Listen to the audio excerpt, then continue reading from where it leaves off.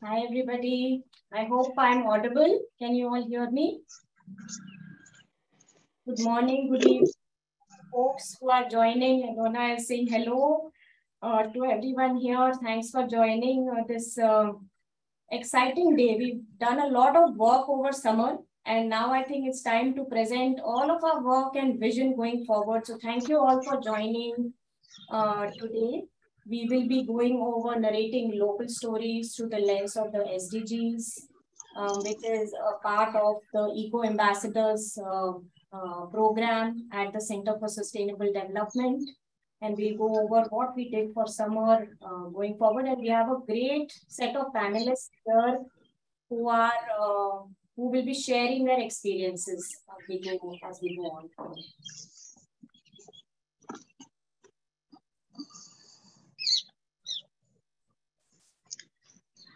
Quick note before we start. Uh, if you are on the, recording the webinar, it is a webinar and it will be showcased on our YouTube channel. If you are uncomfortable, please switch off your camera. Uh, also, since it is recorded, it will be great if we can keep our uh, uh, uh videos, keep our uh, mics on mute because it will help to keep the, um, we can hear the sound properly as well as if you have any questions, there is a chat function. Please feel free to in the chat as we go along. So just a quick brief on Eco Ambassadors and our partners. We uh, work in a, with a consortium of programs. We have SDGs today. We have uh, Esri. We have ArcGIS Story Maps, uh, which is a part of Esri. Um, which is uh, also a big component of why we are here today. SDGs today and Esri have partnered to give us this uh, story maps, which are fascinating, and we'll go over the story maps that we created over summer. Uh, we are so privileged to be working in partnership with the Worldwide uh, Climate Teach-In as well as with the Arizona State University's Turn It Around cards, and we'll hear from them very soon. This entire program, along with the Eco Ambassadors, is run at the Center for Sustainable Development, and we have a Mission 4.7 as a, as a partner entity here. Brian has raised his hand. I'm not sure if we can do any questions yet. I hope it is audible and we can go ahead and then we can do questions as we uh, go along. Uh, Eco Ambassadors program is, uh, in a brief nutshell, uh, is a combination of science training and citizen science and advocacy uh, work. So we are working with scientists to focus on the science training component. Uh, we work with uh, a lot of scientists at Lamont at Columbia University to focus on the science training part, which is also citizen science work that we are engaged in. And we want to use that science for public knowledge. So we do that through our eco advocacy, through our storytelling uh, formats. And here we are uh, at the intersection of sustainable development, where we are focusing on science training and eco advocacy as we go along to focus on sustainable development with justice and uh, sustainability at the at the center. So that's our program goals. Today's agenda is a full packed agenda we have lots and lots of people who are here uh, joining us who have been a part of the summer program. And we are here, uh, we'll start with the Eco Ambassador Story Maps. We'll do a panel discussion with Story Maps with SDGs. Today, Mariam Rabi will be showcasing her ideas on story maps and how to create a story map. We have uh, Esri uh, participants here. So nice of uh, you know them to participate and tell us we've been using the platform so freely, and it will be great to have uh, to get some comments from them. We also have uh, storytelling and educational tools uh, that we will be hearing about from Anne Nielsen from Turn It Around Cards, as well as Janvi Bhatt, who is a creative writer and uh, Katie and Brewster, who is from Sustainable Earth at the Arizona State University. So she'll be showcasing some of her work.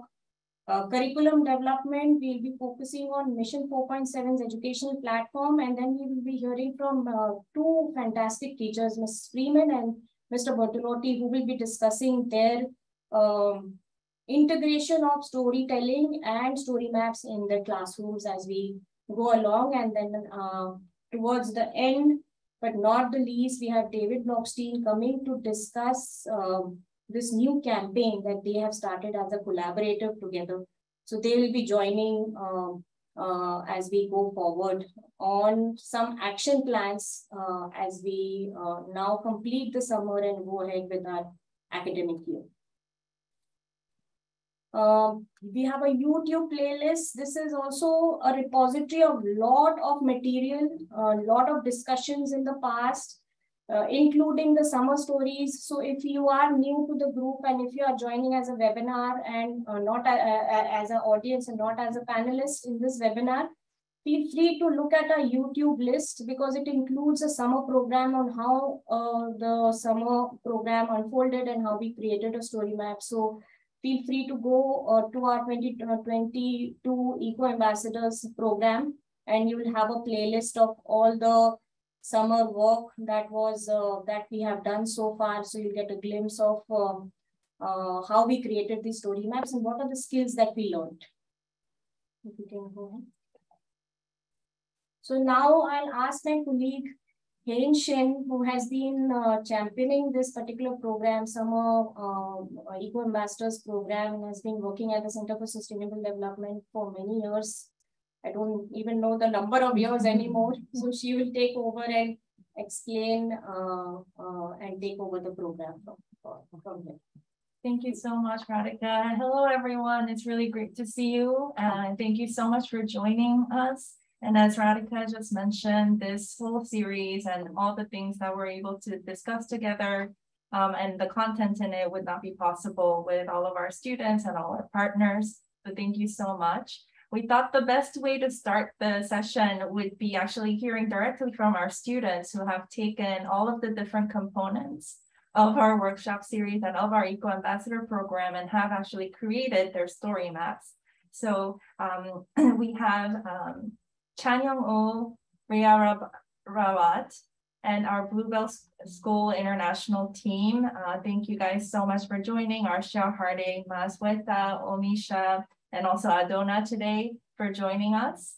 Um, so I'll hand it over to the students. But before we do, um, if we go, can go to the next slide, we wanted to share um, the other all the other story maps that are that were produced this summer as well.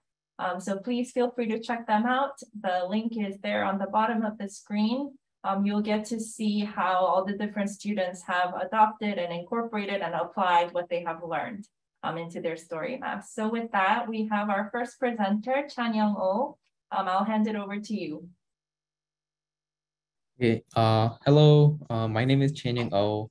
I'm a sophomore at Korea International School. Um, I play golf along with table tennis. I like science and math, uh, and my favorite uh, food is instant noodles. Okay, I'll share my screen.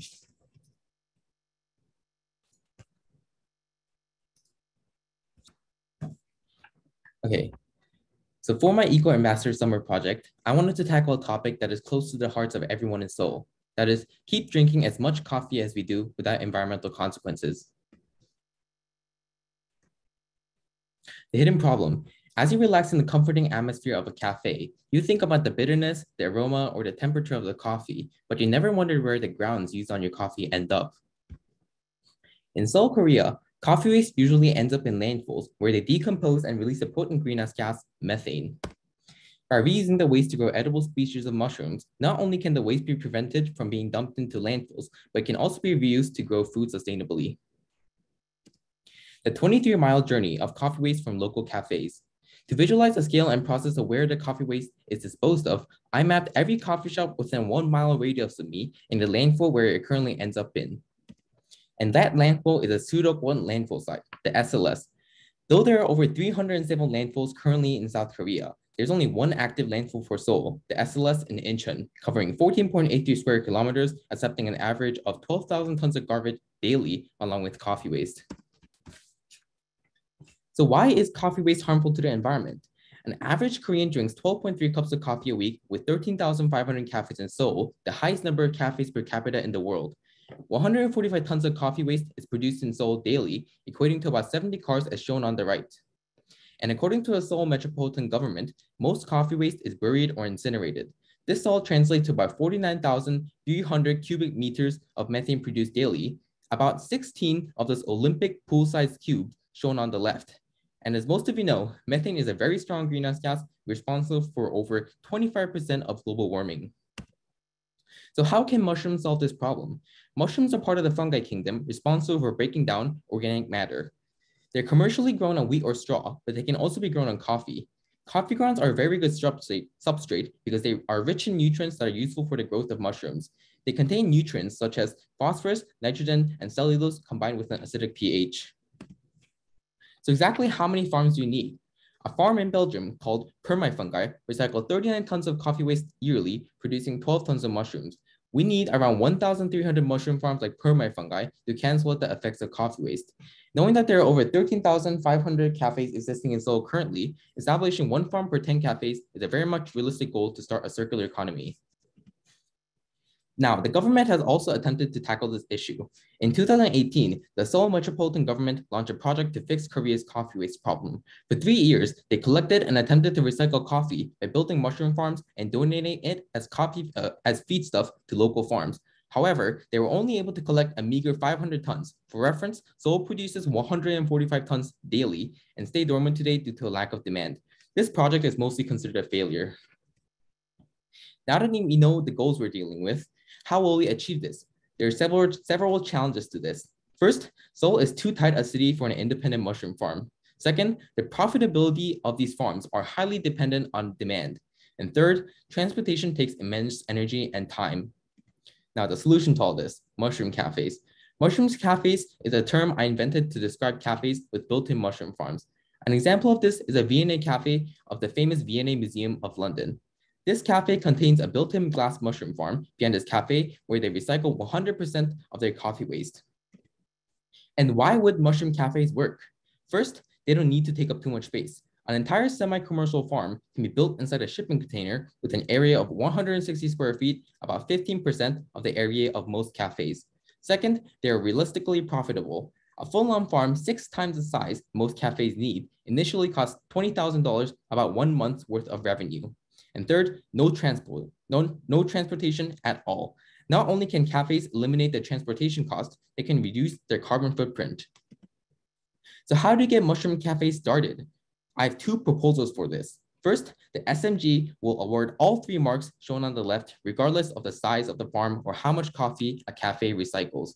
And second, the SMG will spend $3 million handing $30,000 to the first 100 mushroom cafes, recovering the cost of the mushroom farm, and an additional $2 million to give $2,000 to the next 1,000 cafe, mushroom cafes, around 6 billion, 684 million, 450,000 uh, won in total. Though I love coffee as much as anyone else in Seoul would, I wish I could continue visiting the cafes and drinking the coffee I love without feeling the guilt over environmental consequences of it. Thank you.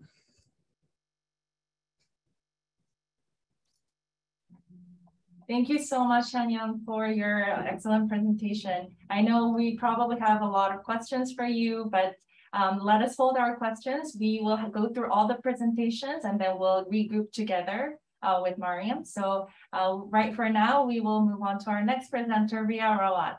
If you would like to share your screen and share your presentation and your um, experience with the story map. Thank you.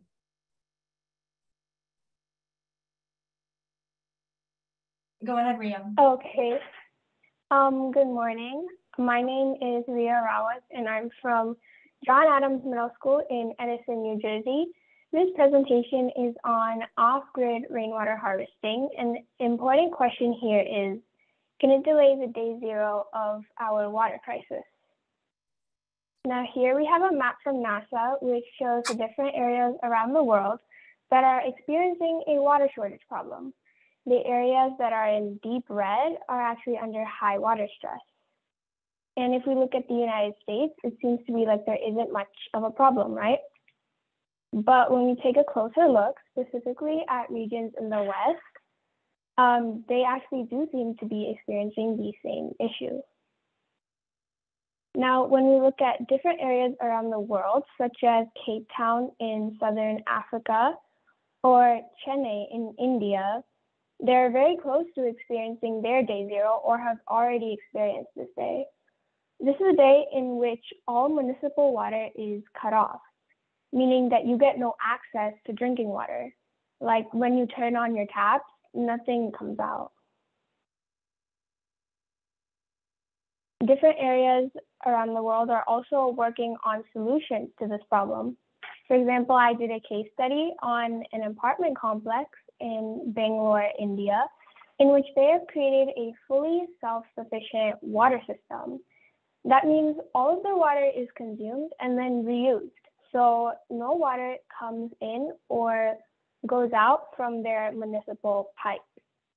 I've added more detail on the complex here, but I won't go over it in this presentation, and you can check it out later. So the average American family consumes far more water than any other country in the world, where we use around 300 gallons of water a day. But other advanced countries in the world, such as Italy or Canada, only use 58 gallons or 86 gallons. So America, what are we waiting for? When I looked at my sprinklers, I noticed that they're throwing drinking water onto our lawn, drinking water that can use for our daily activities. Grass also prefers rainwater, which has the minerals and the nutrients it needs to grow. And this is this actually formed the idea of rainwater harvesting. So in step one, I had to buy a 50 gallon rain barrel, which will collect and store the water. In image one, I am building a base, and in images two and three, I'm assembling the barrel together. In step two, I needed to buy a diverter, and this diverter will actually channel the water that goes through the downspout into the rain barrel. I actually had to cut the downspout here, and I installed the diverter. One problem I saw in this project was overflow, and I took a picture of it here, right here. In order to solve this problem, I I built an overflow pipe that is connected to the downspout over here.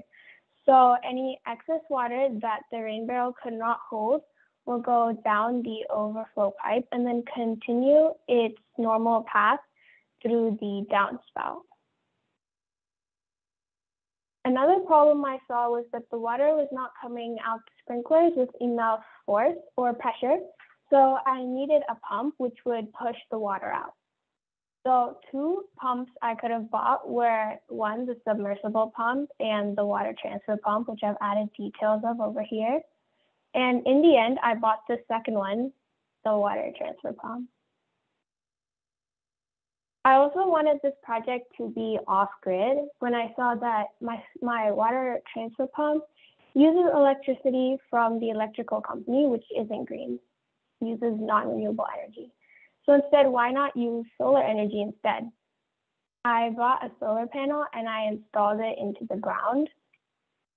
And in the last image, I had to install it at a 31.8 degree angle because this is this is the angle in which the panel can absorb the maximum amount of direct sunlight in my zip code. And the final part of this project was um, the solar power battery bank. The main purpose of this is to store the energy and it's actually connected to the solar panel. It's to store the energy and then convert it into AC, which is required by my pump. In this image, you'll see that it's charging at 90 watts, the, which is the input. And now we have our um, now we have our final video, which I'll play for you.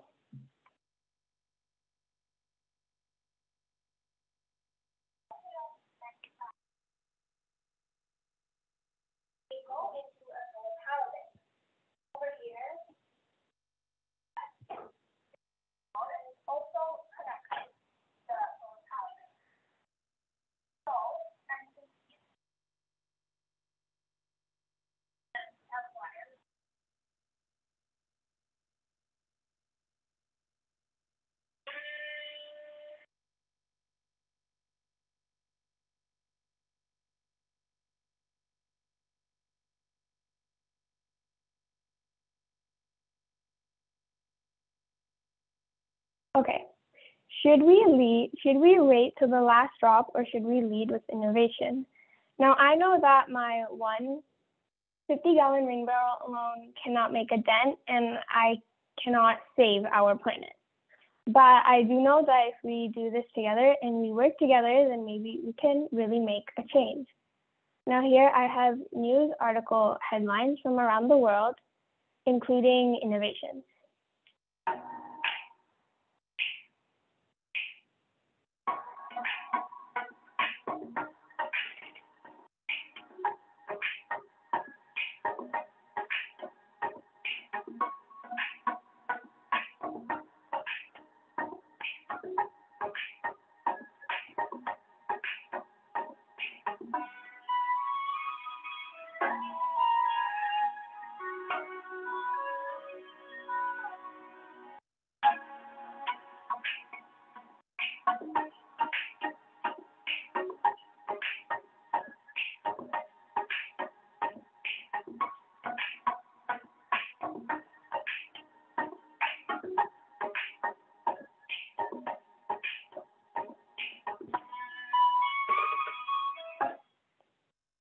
Okay, um, thank you for your time, and that's it.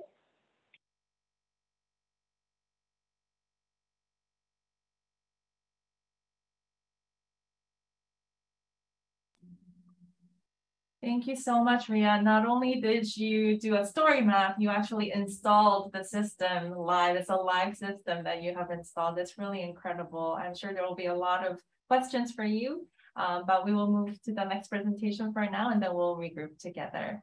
So now if I can ask the sustainable fashion team uh, from Bluebell School International to join uh, Omisha, Arsha, Mashweta, and Hardik, well, over to you. If there's one thing that millennials are starving to consume, it's fashion. Now, see, clothing is an unquenchable desire for more, more, and even more. Good evening, everyone. The Fashion Shiz team of Bluebell School International is here to talk about sustainable trends in fashion. I am Hardik Madan. Good evening, good evening, everyone. I'm Amisha Mehra. Good evening, I'm Hashweta. And good evening, I'm Arsha. Well, consumerism has reached unprecedented heights in the clothing industry, leading to increased production that proportionally adds stress to the environmental resource. We have discovered that the root cause of significantly altered consumer behavior are the media promoting clothing as a statement of confidence, beauty, and achievement. Fashionable and chic clothes available at cheap prices, often at a price lower than Domino's medium sized pizza cheap copies of high-end brands, red sales, blue sales, weekend sales, and Black Fridays that force further indulgence. We discovered that the clothing manufacturing industry leaves a tremendous carbon and water footprint. The production of cotton, the most popular fabric of fashion clothing, releases 220 metric tons of carbon and greenhouse gases, Further, the industry also uses 5 trillion liters of water. We also visited stores that promoted sustainable clothing and met with store managers, conducted surveys to understand fast fashion, problems associated with it, and the solutions that companies have been adopting recently. This map, made using ArcGIS, could you please go to the map?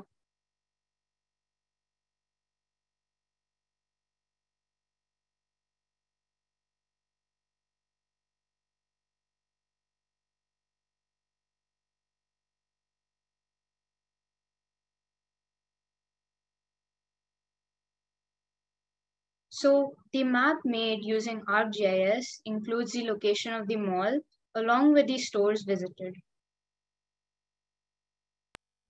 So, on our survey to examine consumer behavior in the fashion industry, we tried to analyze the following. First, how often do people buy clothes? Analysis of the survey revealed that 64% of people bought clothes every month, while only 29% purchased them once a year. Well, when it comes to fashion, no one bought second-hand items. Third, Renting clothes as a viable option was not acceptable to anyone and everyone preferred new garments. But on a positive note, the survey concluded that 69% of people considered buying clothes made of sustainable material. 72% actively donate their clothes, while 26.6 have yet to decide what to do with theirs.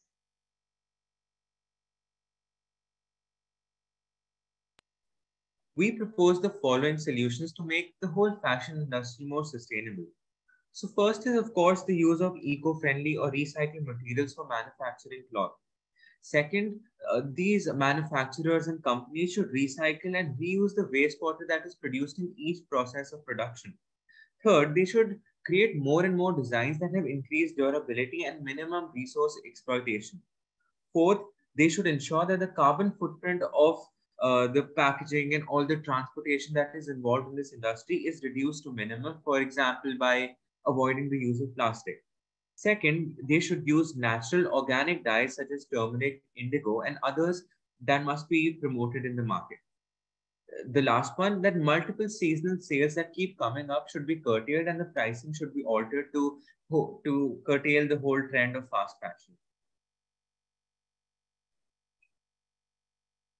And furthermore, in India, we are proud to share that we have a beautiful age old practice of hand me downs that was very popular, but afflu- affluenza is taking over fast.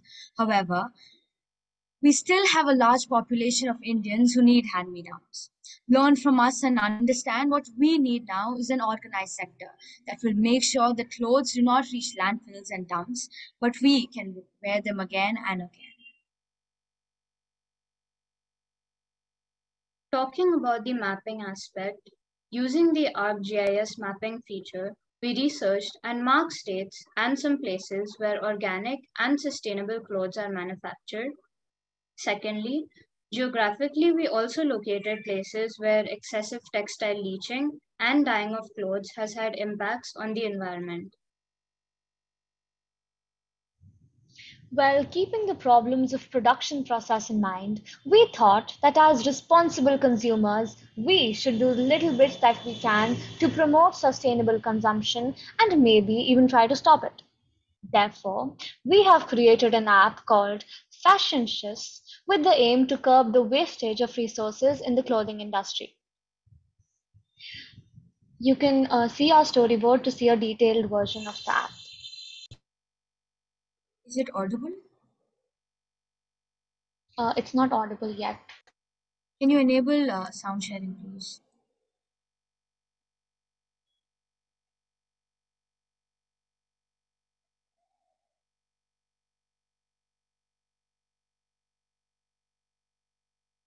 Can you please enable the option of sound sharing?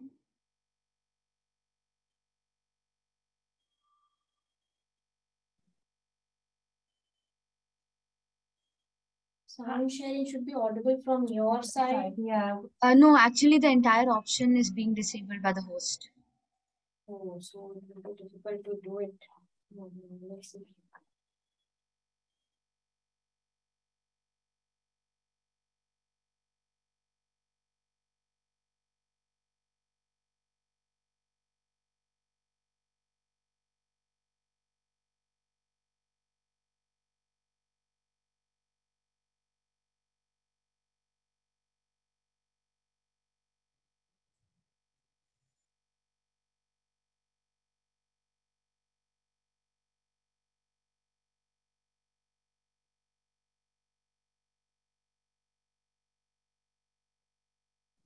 I, we have it currently for enab- being, um, enabling the share for, for multiple of the, all the panelists to share their sound. Uh, I'll try sharing it. No, the option is disabled. Click again?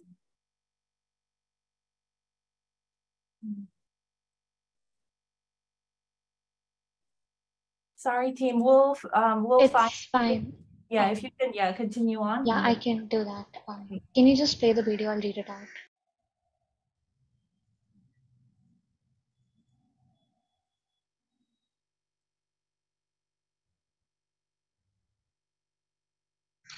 Um, hey, I'm sure you have clothing piling up in your wardrobe that you either don't want to wear or they're just out of trend. Well, we've made the perfect app for you where you can upcycle clothing and see your clothing transform into something new and reusable. When we click on the app, we can either sign up or log in. So in this case, let's sign up. After signing up, you will immediately be taken to your new homepage where you can either buy upcycled clothing, sell your old clothing, or look at how exactly we upcycle, reuse, and sell. Let's start with the sell item page. Yes, so we have the uh, we have the option of uh, adding items that we want to sell. Here, we can give a few details about ourselves. Let's move on. We mention a few more details here and can also specify if the item is torn or not. This is the final step where we can specify which clothing item we are selling to the app and can also upload images of the same. Of the same. So let's say we sell a pair of pants. We get a cash receipt here that we will have to keep saved somewhere for the final delivery. Let's finish the order now and soon a message will be sent to the mobile number entered by us so that we can confirm our purchase. How about we buy some items now? Let's look at what's on sale. So we can either buy pre-owned items or upcycle items. For pre-owned items, here we have an assortment of items that were owned before and have been put on sale so that they can be worn again. Second, upcycled items uh, is the store where the app itself suggests reusable and sustainable clothing and other items. Lastly, let us look at what our app does.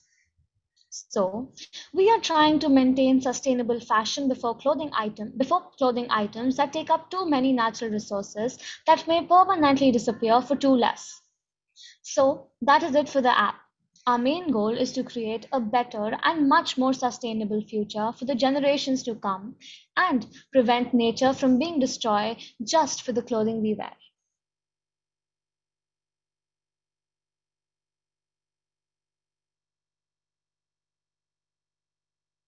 Thank you so much, team.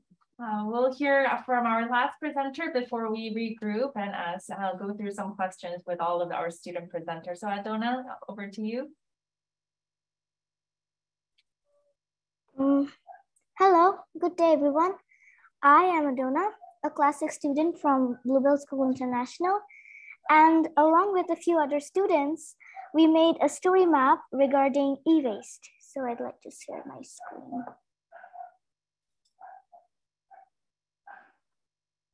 So basically we started with a story written by me. And then after that, we decided to add some information regarding data and statistics. So I'd just like you to take a quick glimpse of the entire story map. So um, child labor is truly a major issue, whether they have it in the SDG goals or not when it's just a matter of thought to spread awareness, the trickiest part is to um, completely remove the inhuman act of forcefully depriving a child of their childhood or mental awareness through some physical activity. But we also know that spreading awareness is one of the first steps to thriving in an injustice free world. Um, when I was younger, I loved listening to the stories my parents told me the stories which taught me the value of kindness, open heartedness, peacefulness, amongst the value of so many others. Personally, I feel that stories are something through which you can connect with anyone. Stories are things that can bring people together. And I think that that is crucial for the change we are all so yearning for. My biggest takeaway from the Eco Ambassador program is that the world is full of diversity, which makes Earth beautiful, which makes us beautiful, and that to solve any issue that we are facing, all we need to do is bring these different cultures together, honor age old traditions, as well as remain in awe of the ceaseless amount of mysteries the world contains. And of course, to rethink about all aspects of life before calling ourselves developed. We must remember this that nature has more mysteries than facts. And I think that the crisis is not just the crisis of global warming or poverty or plastic, among so many others, but the crisis within us, humankind. Children are the future. Thank you. I want to thank you so much for those reflections, those really insightful comments. I think this is a perfect segue for us to bring our student panelists together um, and to talk about your story maps and what it meant for you to go through this training um, and also in your creating you.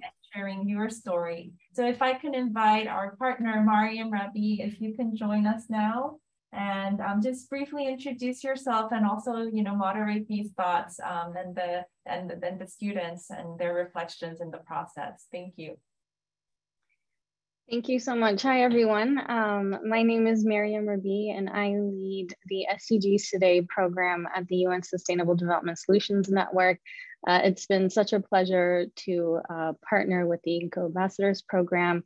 Uh, this is our second program, uh, and we're very excited about how students uh, utilize geospatial information and tools uh, to, to communicate their, their projects and their research. Um, I want to start by congratulating all of you. Those projects and story maps were absolutely incredible. Uh, not just the story maps themselves, but the fact that you offered four very practical solutions that all of us can, can integrate into our daily lives. So I want to congratulate all of you. Um, let's jump right into the uh, discussion. I have a couple of questions. Um, I'll maybe what we can do is uh, have um, each each student or student group uh, answer the question in the same order that they they did their presentation, uh, if that works. So the first question is, um, why is SDG storytelling important to you, and why did you choose the topic that you presented today? Okay, uh, yeah, since I presented first, I'll go first. Um, yeah, this is Chain, uh, Chain Yang O, by the way.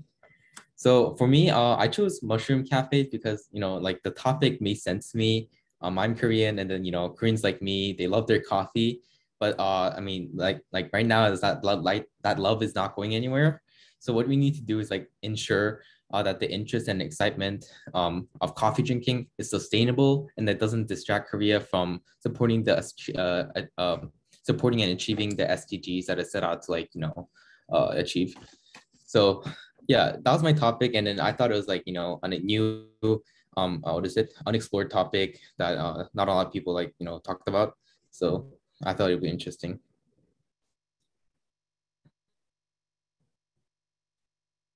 Okay, um, I'll go second.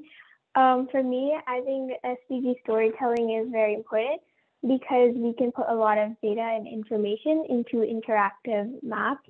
And we can also educate ourselves and others to become more aware of our world and our surroundings. I chose my topic, rainwater harvesting, because of the thought that one day maybe we can reach day zero, and that's a really scary thought. Um, that's the day in which everything that I've worked for, everything that I own, everything I have, none of it would really matter because I wouldn't have water and my survival is at risk. So that's what prompted me to work on this.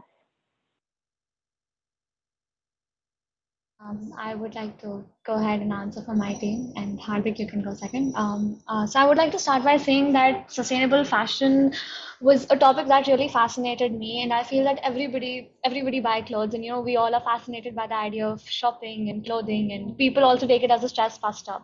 But uh, what people don't realize is that how our clothes are made and what is the process that lies behind everything all the all the produce that we get what is the process behind it so uh, that's one thing i would have wanted to portray from our presentation and um, i think you can carry on.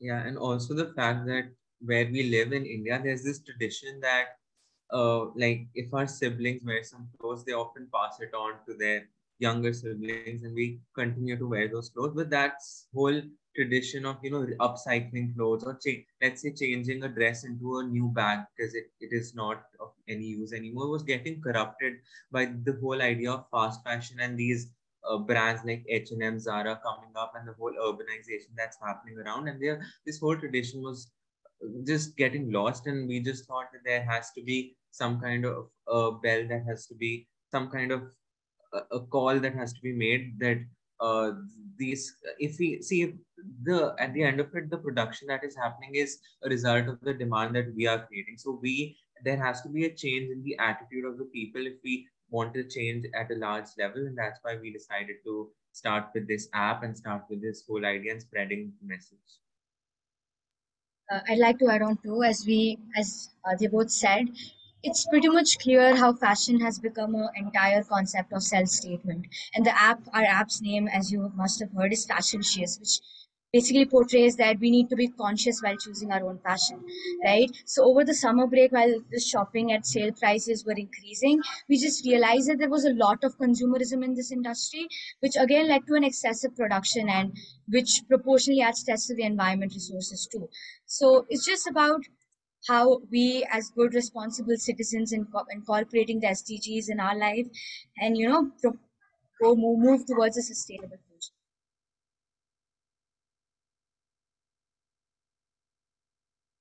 Um, yes, I guess child labor is not one of the SDG goals, but I think that it's something we should really work upon because um, children, because children are really the future. So, like, if most of them are working at e-waste sites or you know quarry sites and just like like kind of wasting their entire childhood. Like just imagine what our future would be. And like i got this idea because every day it's it's a it's a really common sight to see lots of children uh, working under the heat um, in sites. And every day when i go to school i see these children working and living under bridges. And they're like in a distant dream. Like there's such a gap between me and them. Like they don't have any education. They don't have any rights. And i really think that we should you know work upon this because children are our future because they make up what will what what we will be in the coming years. So yeah that's why i chose this topic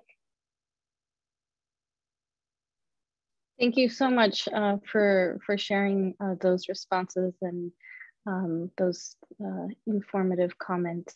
Uh, let's move on to the second question, um, and let's uh, we can keep the same order um, if if that's easier.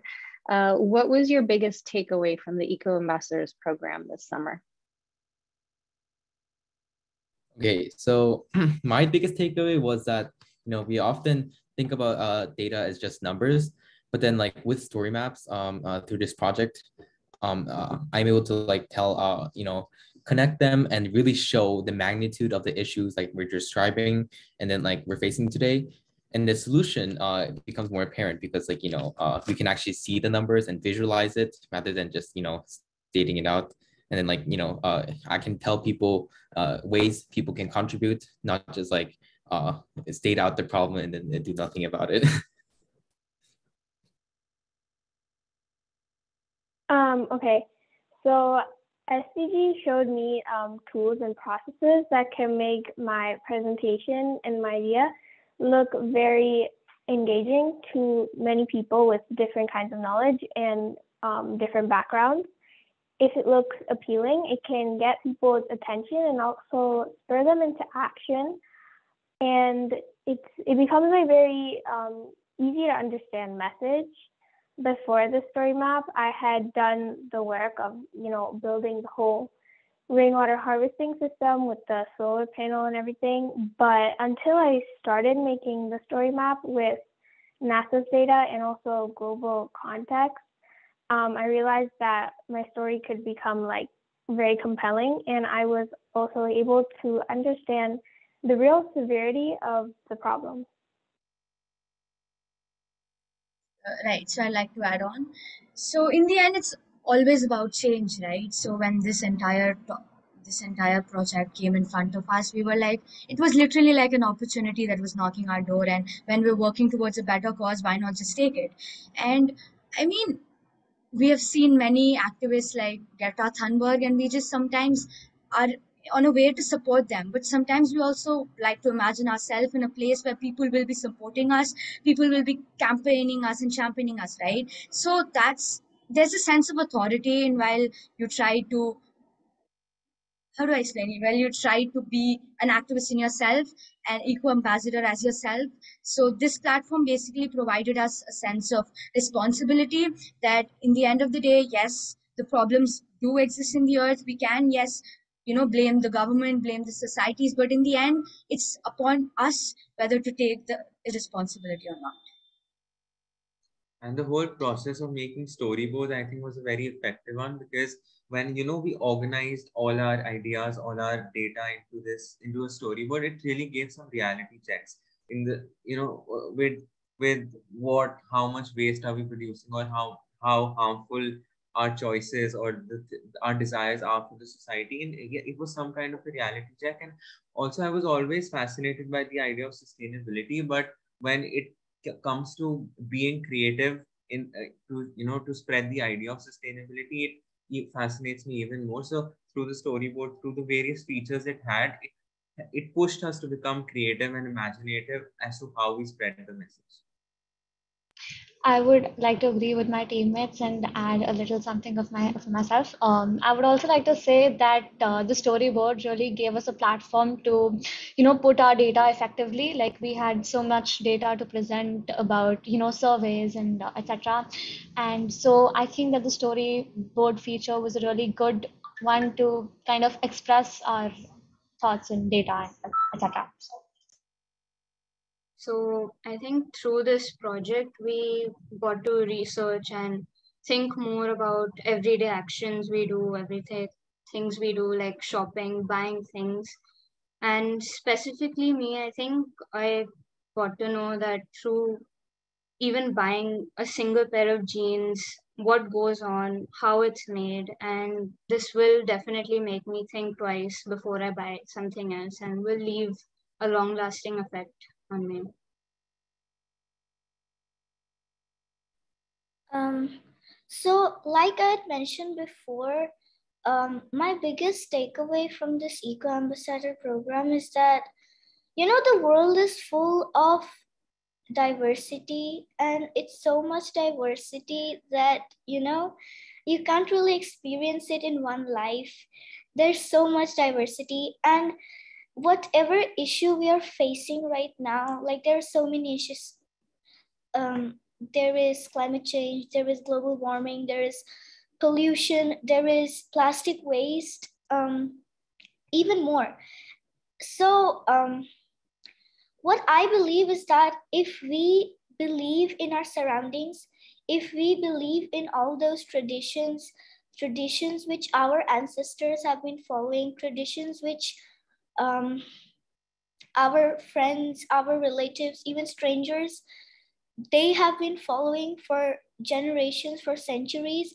If we are aware of these um, different cultures as well as different practices, and if we really like embed those into our daily life, like we will overcome any challenge we ever face. And we need to understand that we are all connected. Like we are in this huge web of life and we are connected with strangers we see every day. We are connected with the plants growing in our backyard, plants growing um, anywhere in the world, even though you're staying somewhere, you're connected with everyone. You're connected with this universe because you're a part of it. And if you want to solve an issue, like you need to understand the world as a whole like you will not be able to solve any issue if you separate yourself from nature because nature was what made you like you are part of nature. So I think that that is my biggest takeaway from the Eco Ambassador program. Thank you. Thank you all so much for sharing your thoughts uh, and, and experience uh, over the summer. Um, that uh, concludes the discussion uh, segment of uh, this, uh, this event. Um, so maybe I'll just conclude by by saying that you all continue to inspire us. Uh, I, uh, Radhika, I think we need uh, more of these events and sessions uh, to learn, to, to continue to learn uh, from from students and eco ambassadors, not just over the summer, but, but throughout the year uh, as well. So thank you again for all your wonderful presentations. Um, as I mentioned, we have a lot to learn from you. So me and my team use story maps uh, in, in uh, different contexts. So sometimes it's to support countries uh, to report on, on their SDG progress. Sometimes it's uh, to support researchers to contextualize the data that they've produced for the SDGs. Um, and I think uh, we, we all uh, admire the way uh, all of you have been utilizing the story map uh, tool uh, for your work and we'll continue to learn from you. So thank you again. And I will hand it over back um, to, uh, I am not sure who the next presenter is, but I do have to apologize that I have to leave and join another event. So I won't be able to stay on, but I'll make sure to watch the recording uh, so thank you, everyone. Thank you so much, Mariam, and thank you so much to our student presenters. Um, I think this is a perfect way to also lead into our next panelists, uh, Allen Carroll and Michelle Thomas. We hope you really enjoyed the students' presentation, um, seeing how the platforms that you have you have founded and that you work on, how the students are using it. So at this point, we I would love to hand it over to you. If you can just briefly introduce yourself to the group and um, just uh, share your thoughts and how the story map, the, the platform was founded, the idea behind it, how you can create a story map. Please, um, please go ahead. Great, thank you so much. This has so, been so in, inspiring. It's uh, you know the the first thing I want to talk about is is why story maps, and we've already seen why story maps. Uh, just it's it's such a thrill to us to see uh, your stories and to uh, to to to uh, the, the notion that our, our little tool is being put to such good use to uh, to make people aware of uh, of important issues and solutions is is really wonderful. Um, so so uh, in a way, I don't really need to talk about why story maps, but uh, but let me give just a, a, couple of words about my background and and why we came up with story maps. So. Um, I, my name is Allen Carroll. I founded the Story Maps effort at, at Esri, the, the big GIS company. Um, and I've worked at Esri for about 12 years. And before that, I was at National Geographic for 27 years. Uh, eh, the last few years, I was the chief cartographer, so, sort of the head map maker. And at, at that point, I was thinking that, you know, I've, I've always, always felt that maps tell stories, very vivid and exciting and important stories but they can tell them even better if they're kind of brought to life on the internet and combined with other multimedia content. So I did some early experimenting at National Geographic with that. But it's after I came to Esri in late 2010 that I was really able to start to uh, you know form a team and start to build our own stories and sort of figure out uh, how story maps might work. Um, and we didn't really have all the goals and uses in mind as we built story maps, but but now I, I, like to think of story maps as providing a kind of two-way street. So one is a route outward, and by that I mean that GIS professionals, Ge geographic information systems people, geospatial specialists, uh, are often producing amazing data, but often in the past, that data has been kind of hidden and hard to find or impossible to find by the general public. So story maps, we hoped, and it's turned out this way, have provided a nice way for those geospatial professionals to share their stories within their organizations, but also to much broader audiences, people people like you, um, and make this really important and useful and interesting and insightful data available to to more and more people. And then the other direction is to provide a, a, kind of a route inward or a gateway to the world of GIS for people like you. So people, young people, people who might not have had any exposure to geographic information systems or might understand only the basics of geography. So story maps have become a way to uh, for people to kind of learn and and sort of open their eyes to the wonders of our world via ge geography and geographic information systems. So that's kind of are, are thinking about story maps. In addition, of course, story maps have been uh, have proven really, really useful uh, in the classroom. So teachers are assigning story maps to their students. Organizations like SDSN are challenging students to create their own stories, and that's that's really thrilling to us. And it it's helped again a lot of young open open young minds and young people to uh, to the power of storytelling in general, but also the the uh, geography and and place based storytelling in particular. Um, I'm going to share my screen for a little bit here, and just go over a few uh, few thoughts about uh, about storytelling. And I, I almost hesitate to bring this up because you're already really effective storytellers. Uh, but these are some things that as we've created our own stories, and I've created dozens, probably hundreds, these are some of the things I've learned that might be useful as to you as you create and think about story, uh, creating your own story maps.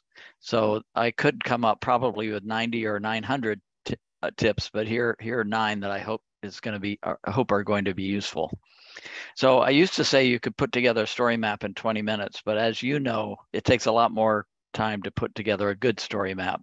So um, uh, our when we create a story map, we we make lots of changes and edits, and sometimes we'll discard an idea and go back to the beginning.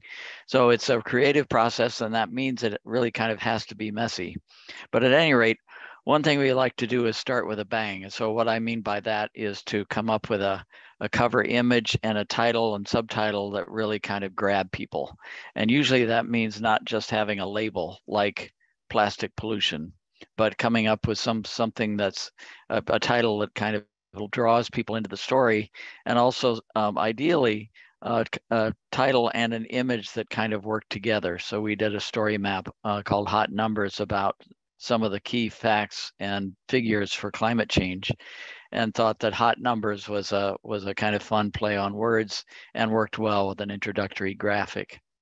Uh, second is to add a hero. Uh, and by the way, not all of these tips apply to every story map by any means. So there are lots of good story maps that don't have a hero, but but it is a good thing to think about and consider. So people love learning about people and story maps can be kind of dry and impersonal if they don't involve people. So we, we, we love to try to profile actual human individuals in various ways. So we worked with a National Geographic explorer, for instance, called Paul Salopek, and he's literally walking across the world. And so the story maps we've done with him uh, take his perspective and and we have pictures of you know videos of him walking through landscapes and things and i threw this little clownfish in because uh, just to make the point that uh, that heroes don't necessarily have to be people so there have been wonderful stories about say migratory birds or reefs or something that might focus on an individual animal especially now that there's all this wonderful tracking data and stuff uh, third is to give your story rhythm. Again, this doesn't apply to every story, but a lot of times a story will have repeated elements and that can turn into a kind of pattern that's that people become familiar with as they read a story so this is a story about dams in the american west and it starts with a big picture and a simple graphic and goes on to a more detailed text and a and series of images. And it repeats that pattern through the story. And i think that makes it again more accessible and more comfortable to people to uh, to read it. Uh, and fourth point is to create a little world. And what I mean by that is that that you can try to style your story, uh, even in terms of the writing style, but especially in terms of graphics and images, so that so that things don't just look like a random collection, but they kind of fit together. So this is a story about a, uh, a, a fish, a couple of species of fish and as you can see, it's all the photos are all black and white. The maps are really simple, just black white, gray, and bright red. And it uses that theme throughout the story. And, and the result is something that that really kind of draws you in and keeps you in. And it, as, as I say, it's like its own little world. Next is one size doesn't fit all. Uh, and as you know, story maps work just as well on tablets and mobile devices as they do on big screens. And so as you're authoring a story, you're usually authoring it on a big screen, but it's important to preview your story at different screen sizes because that can change the look and feel of your story. Uh, our teams have worked really hard to make sure story maps are equally beautiful no matter what the screen size is. But as an author, it's important to kind of check those different screen sizes and make sure your story is working well in all those different formats. Um, speaking of sizes, uh, there's another way I, I, I think about size uh, by thinking big and thinking small, and this is in terms of the approach of your story.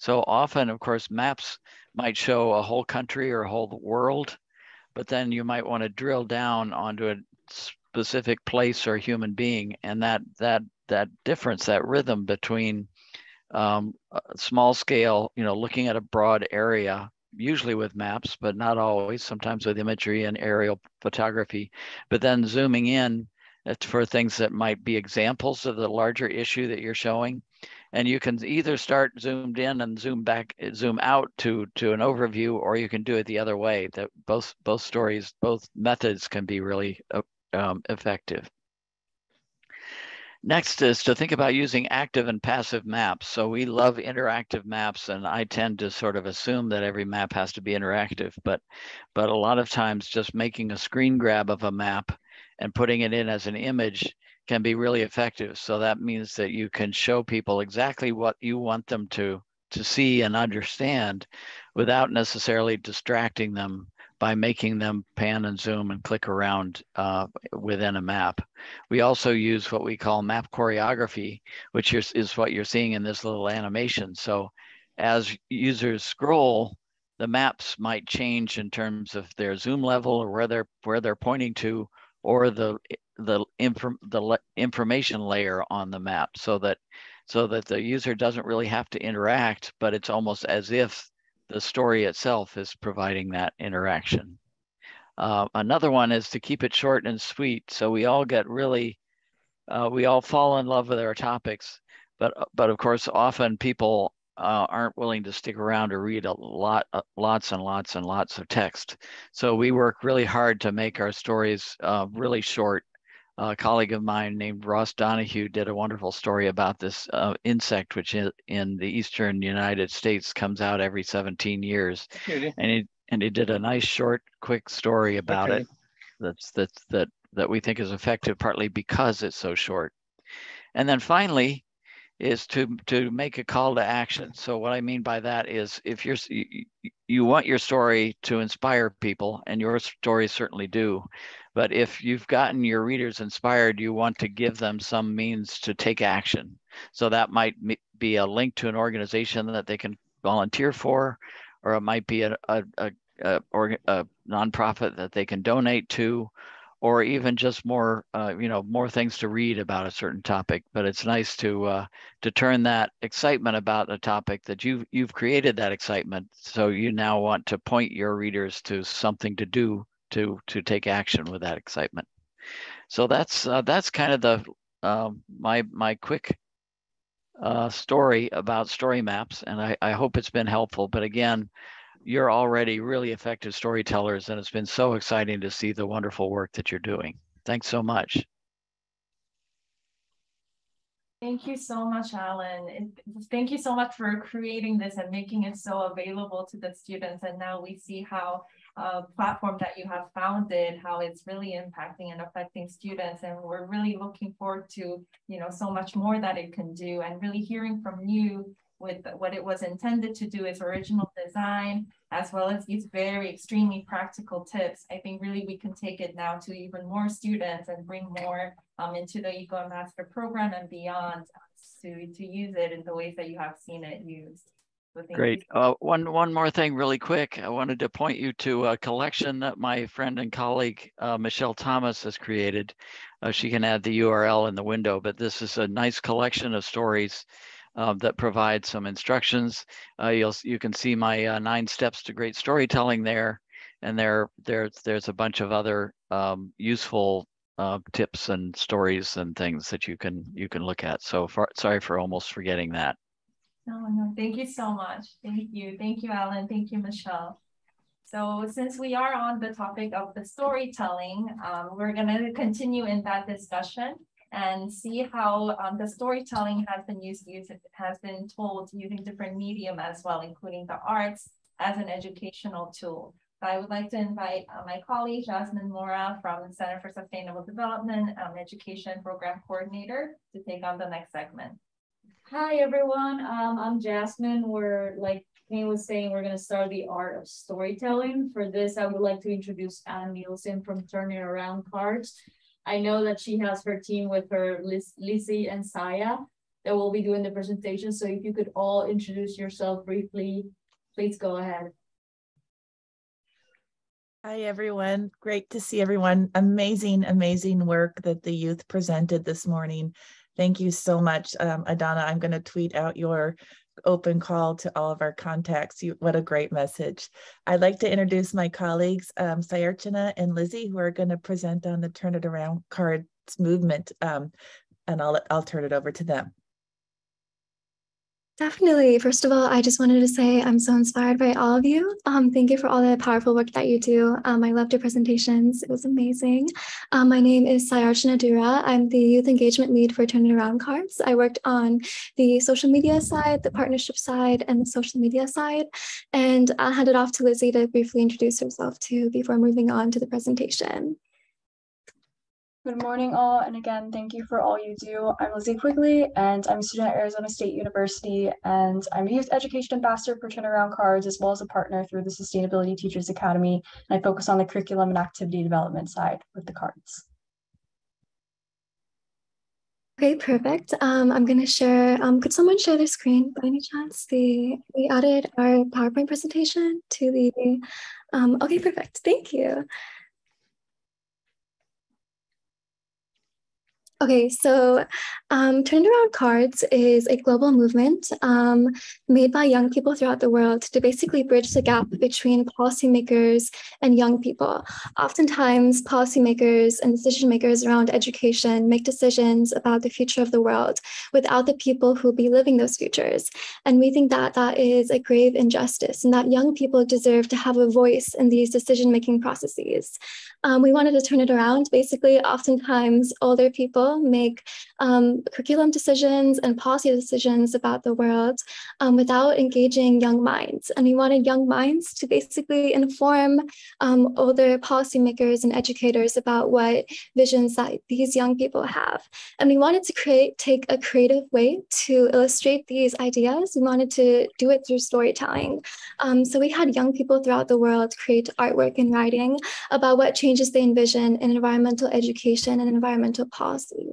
Um, so in about one month, we got 430 submissions from around 44 countries and five continents around the world, from young people even as young as six years old, to illustrate what visions they have around climate change. Oftentimes, when we think about um, who is invited into climate change decision making rooms, we think about um, people who are um, politicians who have been working in the field for um, decades, or um, people who have, who have been at climate marches. But we wanted to basically highlight the voices of young people that haven't really been heard and that that is how this project was born. So we created a card deck um, of artwork and writing from young people throughout the world. Um, each card has an artwork on one side and a piece of writing on the other side. And that piece of writing either is a written form of reflection or a call to action from a policymaker. Um, I have a card here as an example. One side has a piece of artwork, the other side has a piece of writing. And we've been traveling the world sharing these card decks with world leaders, um, including we were in Scotland for the United Nations COP26 conference. We were um, in Paris for the UNESCO Transforming Education Pre-Summit.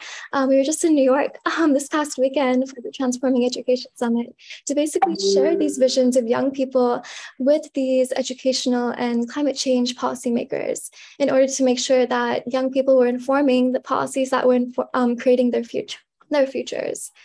Um, next slide. We also created a policy report. Um, so we had an amazing team of PhD students analyze all the pieces of artwork and writing that these young people sent to us. And we created a policy report with policy suggestions for climate education decision makers and policymakers. Um, so this policy report is a very unique report. Um, it takes a very abstract um, approach towards policy making suggestions. We had um, a lot of artwork analysis, we had poetry in it, and our whole goal was to basically um, bring the arts and um, creativity into policymaking spaces. Oftentimes when we think about climate change, people tend to think that the only people who will solve it are the scientists and the policymakers, um, but we wanted to bring in the artists, the writers, and the creatives into this movement because this movement truly needs every single person, including the young people. And this whole movement is working to basically make sure that young people's ideas are heard through um, these measures. So um, we basically shared the policy report and the cards with um, UN officials, including the United Nations Secretary General Antonio Guterres. Um, we shared it with the UN Climate Envoy um, for the US. Um, we also shared it with the United Nations Framework Convention on Climate Change Executive Secretary Patricia Espinosa. And our goal is to basically make sure that these visions are handed into um, the hands of world leaders that are making these decisions about climate change. Um, so yeah, next slide. I'm going to pass it on to Lizzie. Yes, so as you've heard from Sayarchana, this is really supposed to turn it around how we think about education, especially in regards to climate education.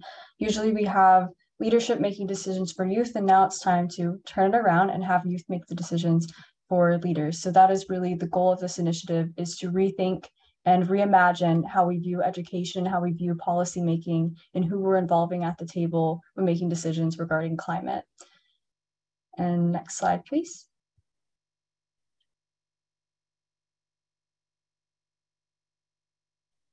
Yeah, so one of the goals that we'll go into, and I'll let Sayarchana come back and talk about this, is focusing on the ways you can turn it around um, through different intergenerational decolonial method logical and pedagogical turns. And if you can go to the next slide, I'll pass it back to Sayarchana. So we had an amazing team of PhD students from Arizona State University analyze all the pieces of artwork and writing um, to come up with basically turns for policymakers and um, educational decision makers around climate change. The first turn is an intergenerational turn.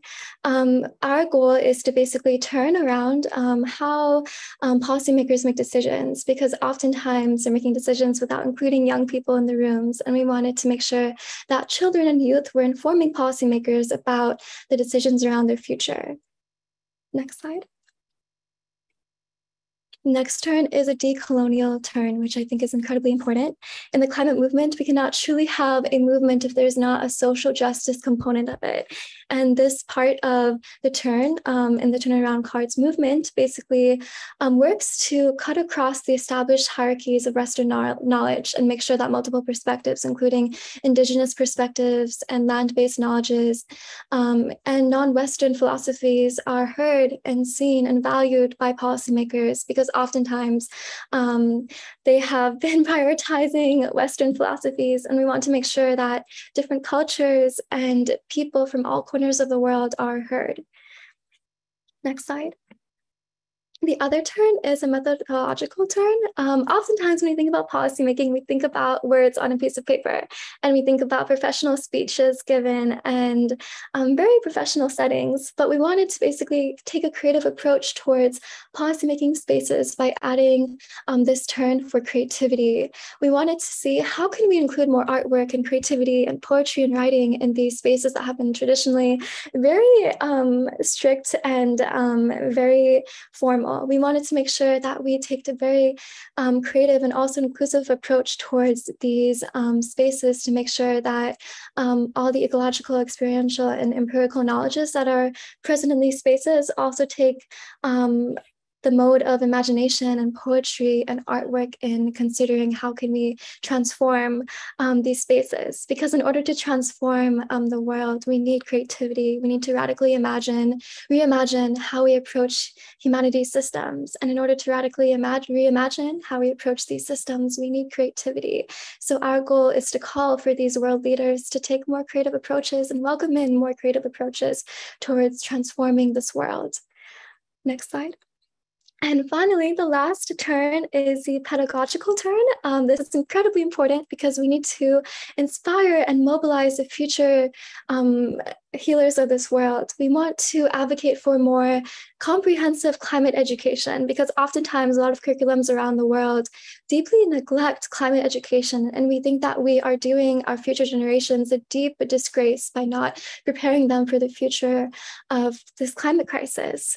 Um, during the next decade and the decades to come, there's going to be a lot of disasters around climate change, unfortunately, if we don't turn it around. And we want to prepare these young minds to address these intense global challenges. And if we don't prepare them, we're doing our future generations a deep disgrace. We want different um, universities, schools, and organizations throughout the world to educate their youth about climate change. But we don't want to just end at young people. We want to make sure that education is a lifelong journey and educate people from all different ages across the world on how to address this climate crisis. We don't only want to educate them about the problem, but also on how they can solve it, which is why this project has also been amazing in giving young people a way to kind of like translate their knowledge into something physical and tangible to create create shifts around them in this climate movement. Next slide.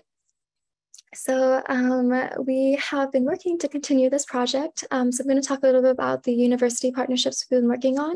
Um, so right now we are working with the ASEAN University Network, um, which is a collection of amazing universities in Southeast Asia, in creating a new card deck. So the goal of this new card deck is to basically highlight the ideas and the visions and the hopes and the dreams of young people in Southeast Asian countries, because those people in that specific region go through very unique unique environmental challenges that other areas of the world don't. And our goal is to highlight their unique experiences through a new card deck. Um, so we have been working to create a new card deck for this. Um, and um, the deadline for submissions is um, on October 31st. So if you know any young person from Southeast Asia, feel free to send them our website link that Anne left in the chat box, which has more information on how to um, submit artwork and writing to basically be featured in this card deck. And we are potentially working on also partnering with some MENA universities. Um, we're still in the gist of doing that. Um, and we are hoping to basically um, engage youth from the MENA region and the US region in a cross-cultural collaboration and um, basically have them collaborate with one another to develop climate solutions and also learn about how to become effective young leaders in this climate crisis. Um, so we are still in the gist of planning that. Um, and I'm going to hand it off to Lizzie to talk about the rest of the future of this project. Yeah, so the future of this project is still like thinking about where do we go from here? We have this card deck, we're developing more. What do we use this for? As you've heard before, we have been reaching out to policymakers. They're receiving this content with the policy reports and the cards, but it's time to bring it back to the youth, bring it back into the classroom, which is why we are expanding our partnerships into universities and developing programs with them focused on activity development, as well as into educators. We are currently running a fellowship with teachers from the US and India to develop activities or lesson plans using the turn around cards to educate their students about climate and sustainability education. And we are additionally working on different programs, such as a program with ASU students to develop activities using the turn it around cards and expanding this network to really focus on how do we use these cards differently? How do we get creative? How do we reach their full potential? And that is why we're expanding our resources into not just these card decks, but having curriculum tied to the card decks as well as other resources, having activities so people can play games using them and really just have fun while learning about climate. Go to the next slide. So how do you get involved? Um, all of you here are members of this planet, which means you are involved in the climate and sustainability efforts. So we would love for you to get involved with our project and you can visit our website to learn more about the project, as well as if you are interested in submitting your own submissions or sharing that with someone else, you can get connected with us through our social media, which is on this slide, or contact through email. And we would love to see you there. We would love to see you create your own activity. We'd love to see you use the cards in your own classrooms with your friends, with your family, and just really share this vision of when tackling sustainability issues, when tackling climate change, there's a lot of weight, a lot of pressure, a lot of stress. So have fun with it where you can. And I think that's all we have. So thank you. Thank you so much to you both. That was an amazing presentation. Um, just in uh, in the interest of time, if you have any questions, please type them up in the chat. And I think we're gonna wait until the end for like questions for all our panelists. I want to introduce our next panelist, Janavi uh, Bhatt. He, sorry, she she's here with us. If if if she can introduce herself briefly and and start her presentation. Hello, everyone. Um, I'm Janvi, Janvi Bhatt. Uh, I'm a language arts teacher. I teach creative writing, and I'm also an eco enthusiast, like most of you out here. I've been associated with the Eco Ambassador program uh, for the last uh, four years as a mentor, but I think I've learned a lot more than I have contributed. It's inspired me to get involved in um, environmental initiatives in my local community. Uh, first and foremost, let me tell you how impressed I am with the kids, the story maps that they have come up with. They're just fantastic. You know, they're so passionate, articulate, and they have uh, created such uh, amazing presentations that incorporate both content, creativity, and data research. And it's it's a very, very, their projects are very effective. Um, also, I'd like to compliment um, uh, platforms like uh, the story map by Esri and turn it around cards because a huge component of creative writing is uh, you know um, visual and sensory elements how to incorporate. And when you have platforms like these you know where you can incorporate arts crafts images visuals and data and in an interactive manner it is a lot more effective and a lot more accessible to people across um, you know, different ages and countries and cultures. So, you know, it's a great platform uh, for kids to present. Now, um, you know, not that anybody out here needs it, but I'm going to talk about a few uh, essential tips for creative writing and what we generally understand by creative writing. Now, like, um, you know, creative writing is a great way of discovering things about yourself and about your world and the world around you and expressing this understanding in an effective manner that inspires others and influences them to take uh, some kind of action. Now, what you say and how you say it, you know, is very important because you are uh, using this, the skill that you have to inspire people to action, to do something constructive. And what do you need for that? You need imagination, and you need great ideas. Now, one thing I tell my students to, if you want to hone your imagination, work on it, is to read and to read a lot, you know, read lots of books across different genres, novels, short stories, science fiction, newspapers, magazines, brochures. And this is a great way to build your imagination. And very often people ask me, so how do you get the idea? Well you know ideas are all around you. They are simple everyday things like these students have shown us right? They are in the places you visit the people you meet the encounters you have like like seeing a child labor on your uh, laborer on your way to school. It's all around you but you need to be open to that. You know you you need to open up your mind to different encounters, experiences, and people.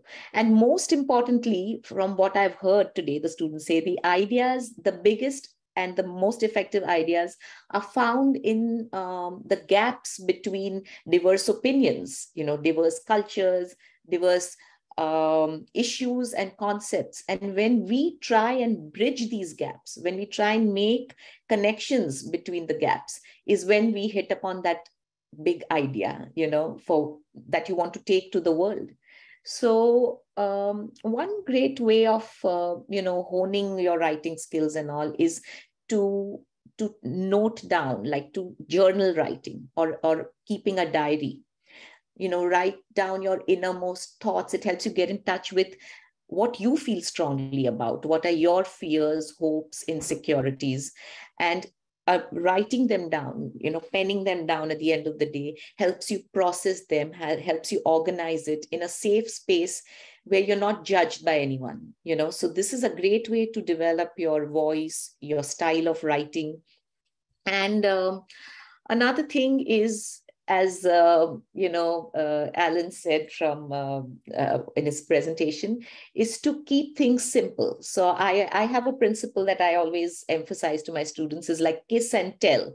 So always tell a great story and always keep it simple. You don't need you know a flashy presentation. You don't need too much happening. You don't need high you know like big words that require people to look up dictionary. You need to keep things simple. For instance like take a book like animal farm or you know the little prince. They are so simple and you can read them at every stage of your life and they may mean different things to different people. So you you need to keep everything simple and tell a great story. Another thing is um, figuring out like why were all these presentations so effective that the kids presented? Because they knew like they have figured out that what do i want to tell and why do i want to tell it and what do i hope to accomplish? Again as you know in the last presentation they spoke about the call to action. So not creativity for creativity's sake but creativity in order to inspire a movement and action in people. For that, what you need to know is you need to know your audience. Like, who are you addressing? Who is it that you want to engage? And what is it that you want from them? You know, so there is a glut of information. We live in an information age. There is so much content out there. So, how do you make yours stand out? So, you need creativity for that.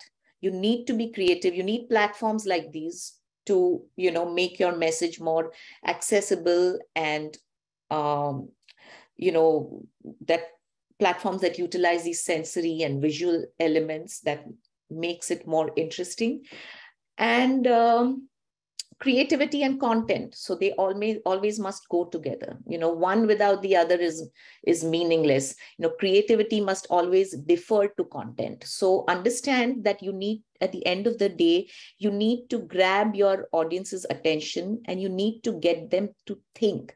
Because when when your audience starts thinking about what you have said about your message you know it's going to go down into uh, their memory. Memory is is essentially a residue of thought you know? It, this is what gets like what we mean by metacognition. Like how do you make it relevant? When you feel passionate about something when it's relevant to you and that passion shines through through a platform like say turn it around or you know um, um, esri that's when you are going to get people to remember what you've said and then act upon it so you know these are like just a few tips that i have today like you know be yourself read you know write a little every day. It'll help you find your style. It'll help you find a voice. And most important as i see from what's happening today it'll help you find your cause you know because that that cause and that passion that you bring to your cause is what is going to inspire action so that's all I have to say today. This has been amazing, and I'm really, uh, you know, honored to be a part of this uh, whole program. I've, it's been great interacting with everyone. Thank you. Thank you, Dr. Iyengar and Jasmine. Thank you so much, Janavi. Um, for our next segment, we have curriculum development, and we're going to start with Betsy Freeman and her students. Betsy, if you can please introduce yourself and your students. Hi, yes. First, thank you so much for having us. We um, always love to join into this global community of um, learners and practitioners. So I'm uh, Betsy Freeman. I am a uh, middle school enrichment teacher. I am also the coordinator of green initiatives and sustainability for our district. I've um, asked uh, one of my students who is here with me, one of my former students who is here with me, uh, Christopher Sorrell. I'll let him introduce himself in a um, in a second.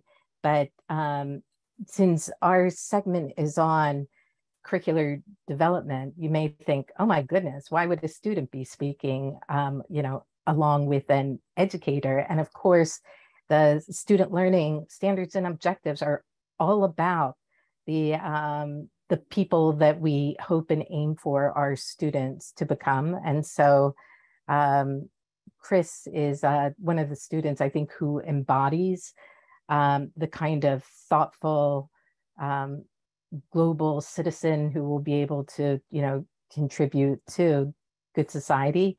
And I think a lot of that um, stems from how he has um, viewed and taken the, his SDG knowledge and action, you know, into his his own life. So, um, Chris, with that, if you'd like to introduce yourself.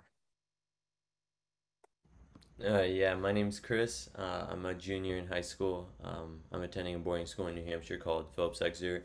Um, a little bit about myself. Yeah, I was a Miss Freeman student. Um, I think like four or five years ago, but uh, the things I learned with her have still sticked with me to this day. Um, and I think mostly to me, you know, SDGs is just like a mindset and a way of, you know, perceiving the world. And um, uh, you know, I think it informs, you know, our, our decisions and, you know, it should be part of educating, you know, future global citizens of the world. So.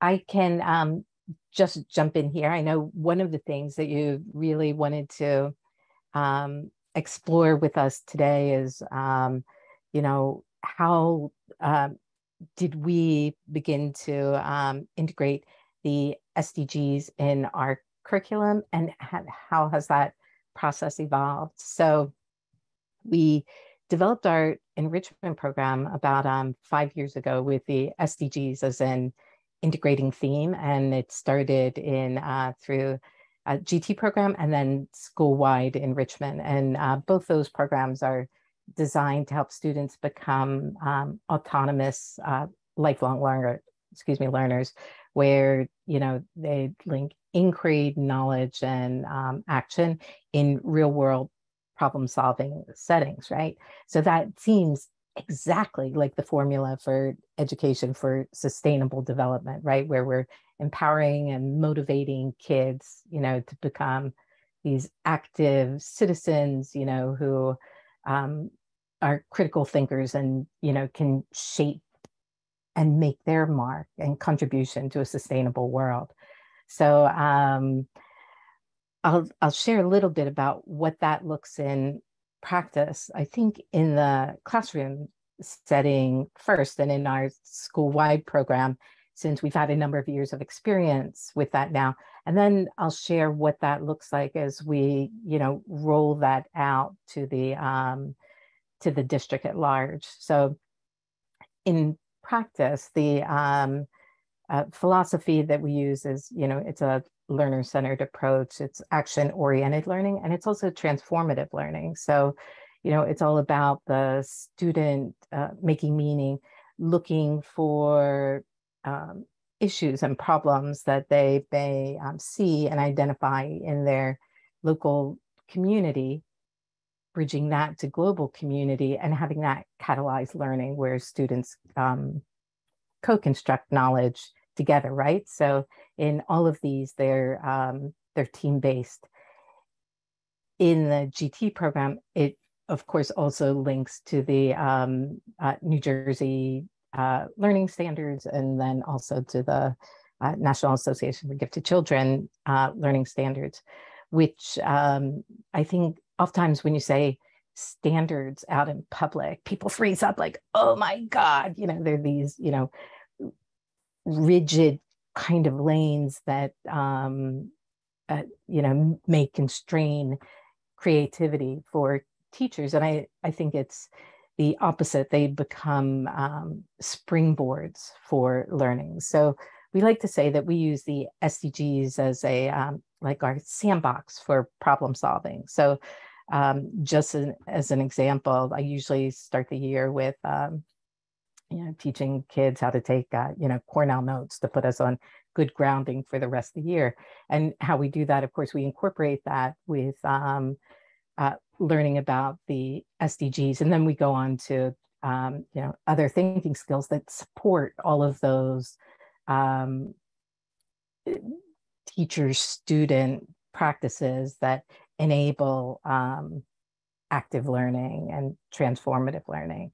So the key to that is really all about um, partnerships and real world projects. So we I also introduced systems thinking um, at the beginning of the year, and we use that year after year after year after year, evolving our um, uh, ways that we uh, think and and act um, as systems thinkers and and making change.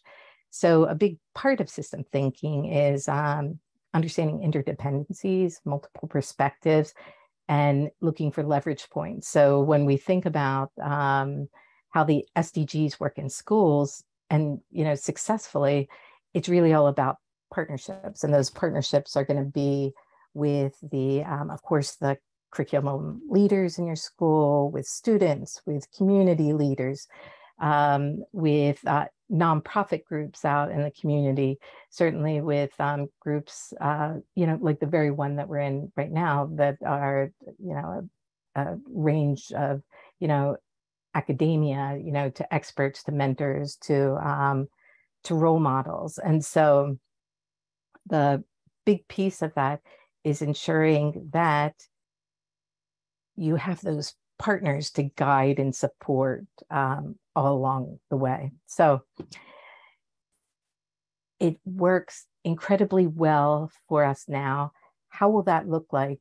What will that look like, and how can that work in, uh, you know, diverse classrooms through we are we are a K to eight district. So we um, adopted this fantastic mission statement two years ago that's all about empowering members of the community to lead uh, lives with integrity, cultivate a spirit of discovery, and embrace connections in diverse global society, which is pretty much the SDGs in um, a nutshell. So the the culture of our school, which is one that continues to evolve, already supports that um, the integration of SDGs as a pathway to that very goal of embracing connections in a diverse global society and leading a, a life with you know integrity and discovery. So if we um, maybe step back we have that culture in our district one of the partnerships that helps us to um, strengthen and fuel that culture. We also um, participate in the Sustainable Jersey for Schools program, being a New Jersey school. There's, I think, a thousand or so schools that are um, connected to that program. And we're currently one of three districts in the states where all of our schools are, um, you know, have that top certification, silver, which is like great yay, which means there's a whole lot of people working to develop a sustainable school. At the base of that is this idea, and you know, I think it's, you know, all across education, all across business, what gets measured matters. And so in this case, we already have a, um, a context where um, we have measurable goals towards sustainability and at the um, district level, those goals are in place, and then in each one of the school levels, which goes a long way towards um, supporting introduction of SDGs. So this past summer, what we started to do was um, we have uh, three strategic planning committees, of which I'm on uh, one of them. We have an inquiry committee, we have a, um, a social emotional learning committee, and then we have a partnership committee. All three of those committees, of course, would support um, you know, students becoming uh, global citizens and you know active contributors to to good society. So um, what we did was take all of the learning stand, excuse me, all of the curriculum across the district, and we're mapping sustainability um, lessons and activities uh, to each one of the student learning standards and integrating them into the curriculum. Um, from there, as the green coordinator, I'm also mapping um, SDGs to each one of those. From there, we're also curating all of our partnerships across the district. So we have all of those, um, you know, uh, mentors, community resources, experts that will be available to, um, you know, to uh, all in the district. So while of course that all looks great on paper when you're doing it, I think, of course, when you um, roll it out to um, all of the teachers and administrators in schools, that's where you hit the, um, you know, what real world school looks like. So um, I, I can tell you that some of the challenges that we're anticipating is, of course, I think schools all across the US are looking at um, learning loss that has happened because of the pandemic, right? So now you have teachers and administrators who want to make sure that they get this um, critical like learning um, and support for students, you know, so that they can bring their skills uh, back up. And at the same time, we also have the um, shortage of teachers that, you know, coming out of the pandemic as well. So you also have um, uh, teachers who are, you know, a lot of them coming new uh, to the practice. So um, looking at both of those challenges, uh, one of the ways that we're uh, tackling it is um, a it's not a um, you know a one year um, uh, rollout. It's a two year rollout and how we'll do that is through new teacher academies because the flip side of you know oh no you know we're losing a lot of experienced teachers which is of course a um, you know a, uh, a a drain for any district um, is that now we have the opportunity to relook at what our um, onboarding processes on teachers and where we can fit um, sustainability and then the SDGs into that uh, learning process. We also have um, teacher academies throughout the year, so we'll use those opportunities as well as in service days. But again, I think, you know, of course, the big challenge is, uh, you know, as it is for everybody, just time, time and competing priorities.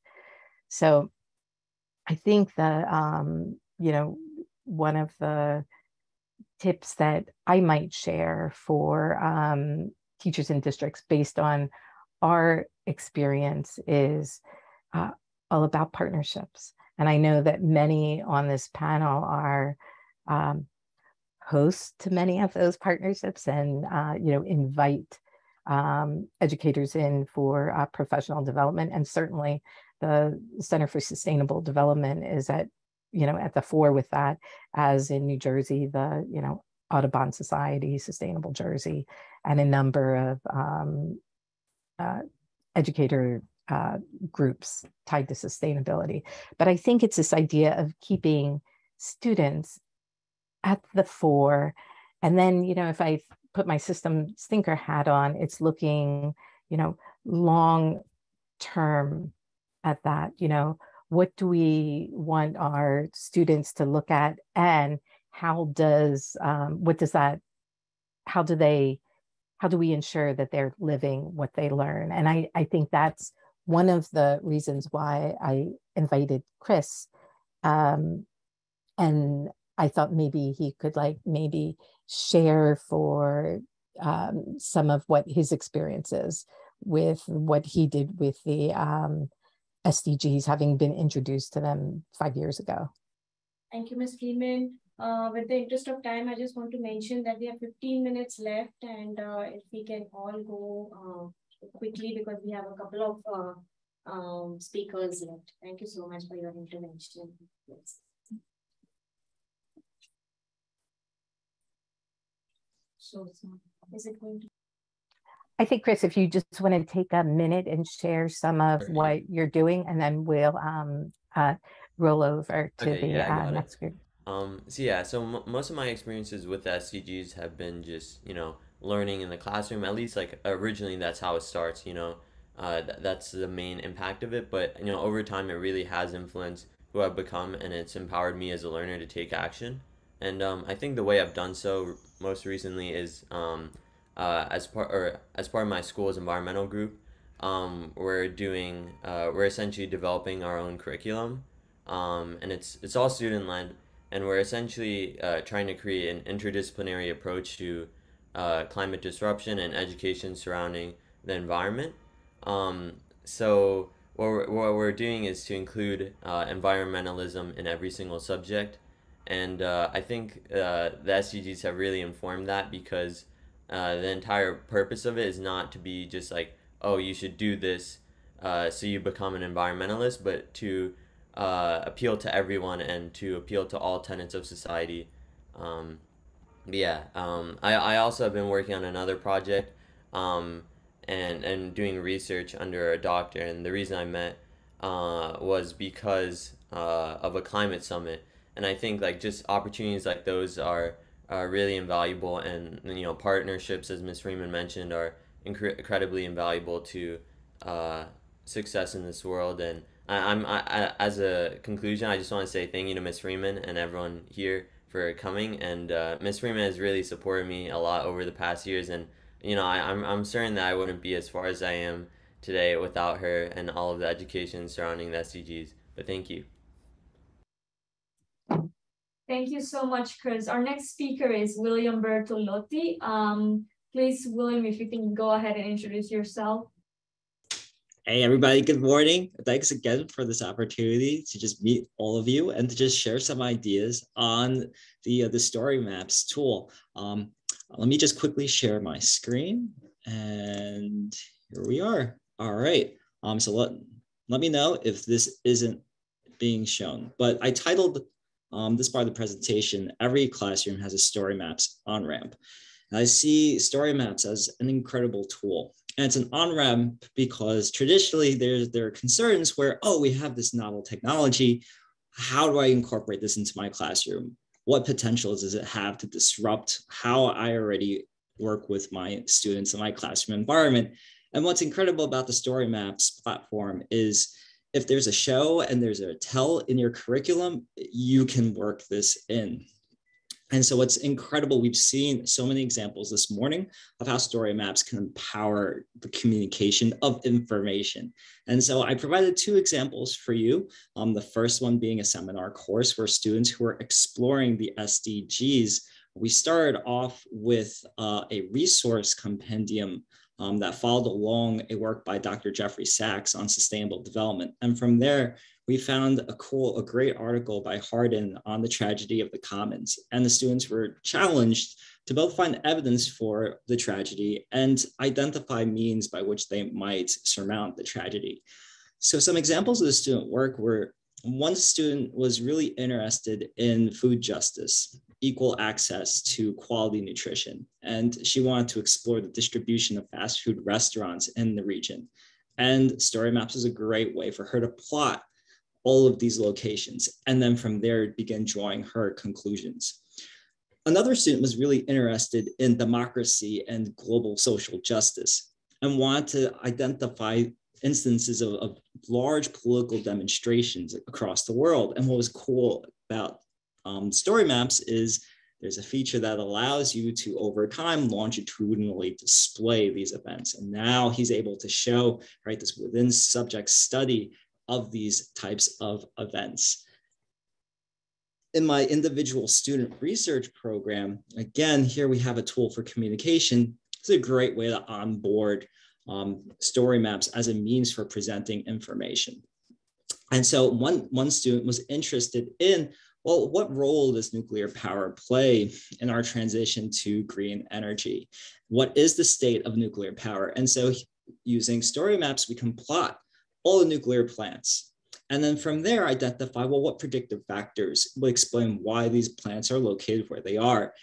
And I say that there's no ceiling to story maps because from there, students begin wondering, well, could I integrate some form of machine learning to identify the predictive factors, right? Another student who's interested in mapping the distribution of hospitals across New York State, right, to look for the equal, equal access to healthcare, right, is now starting to look into artificial intelligence to see whether or not we can predict what a more equitable distribution of hospitals might actually look like.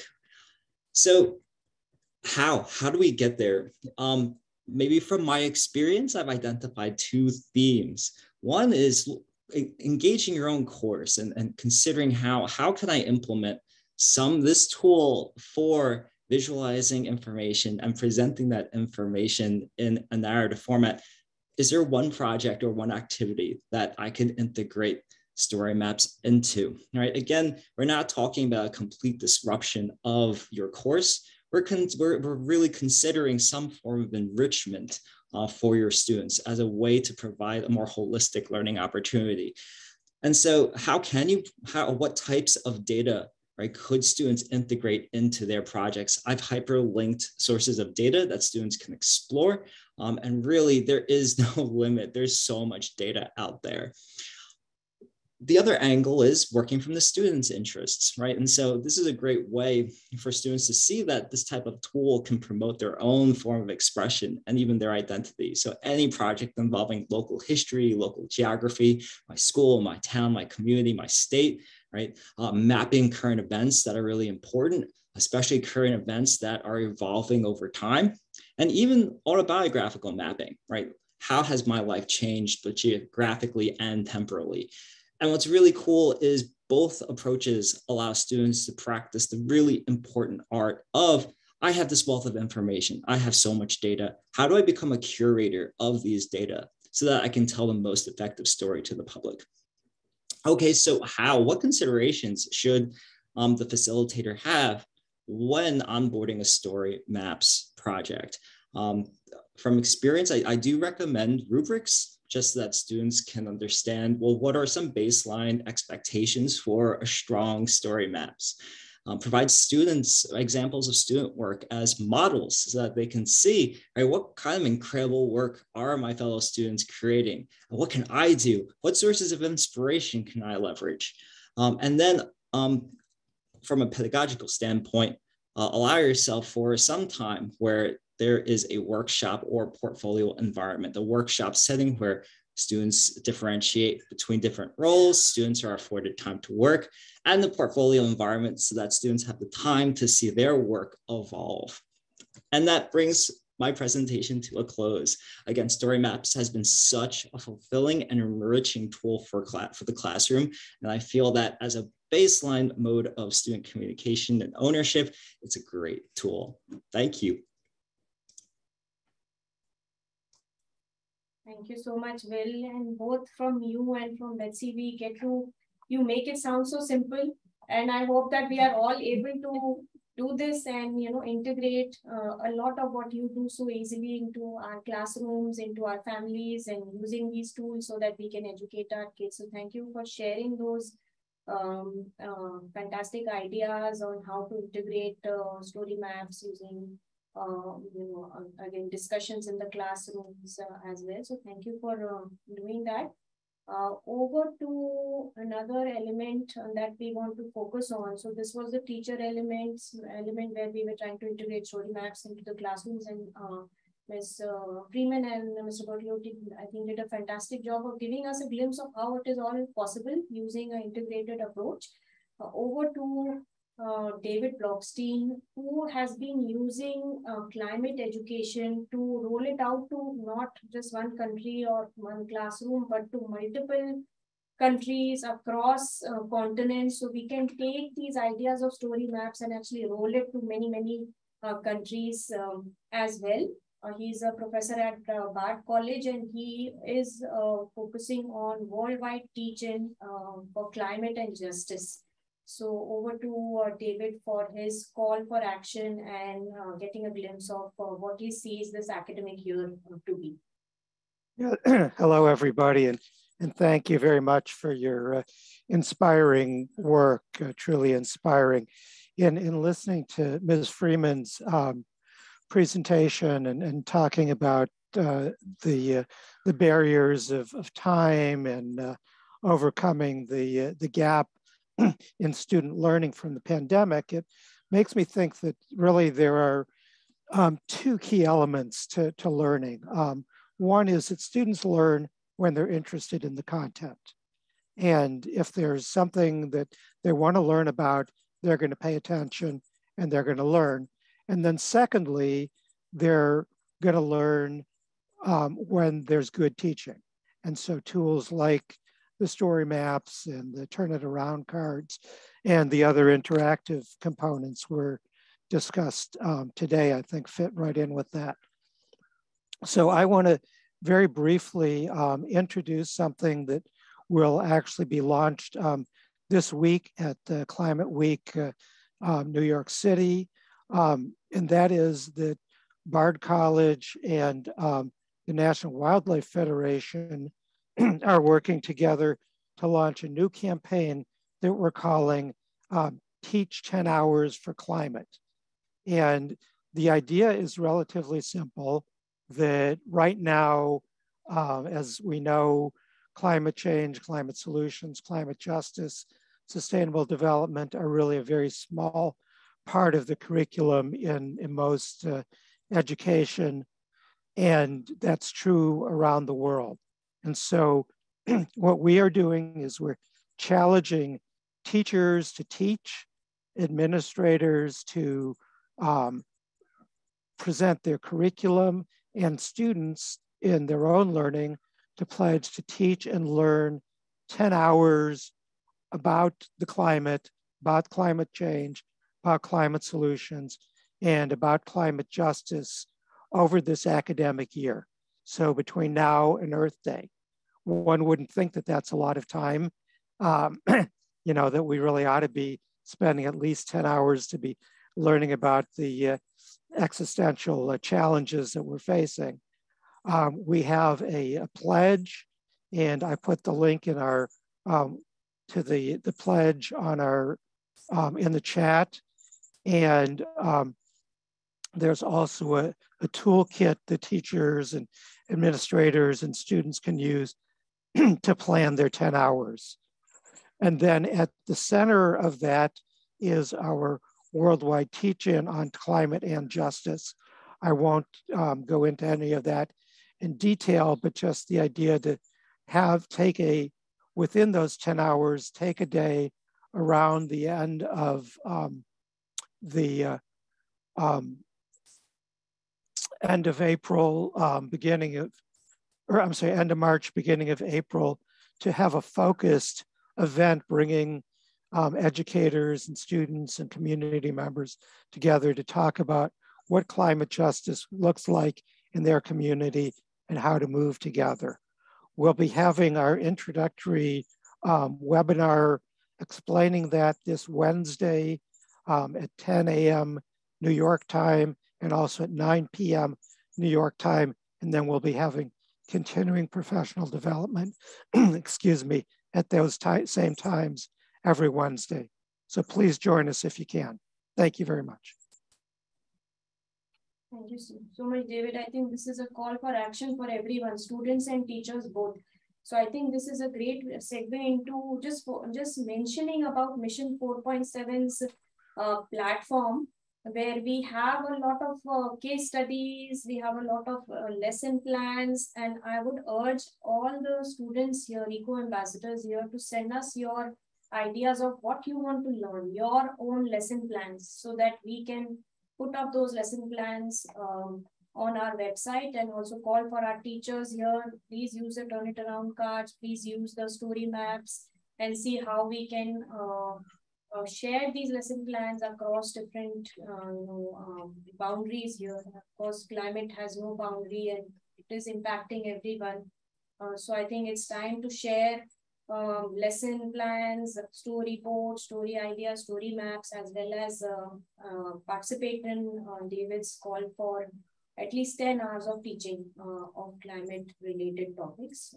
With that, we'll end our session, but one last segment is remaining, which is on uh, the Earth Sustainability Network at, at Arizona State University. We'll play that video and um, it is not a sport, I guess I don't want to end the session by saying that let's end the session and not think about it. I think let's keep reflecting on what we did so far, what we heard from our eco ambassadors and see how can we, to Adona's, Adona's point, how can we think of it as like a crisis within and how, uh, what are those tools that we need to use to express our uh, collective wisdom here. So let's continue with that and uh, over to uh, the next session with the, with the video. Okay.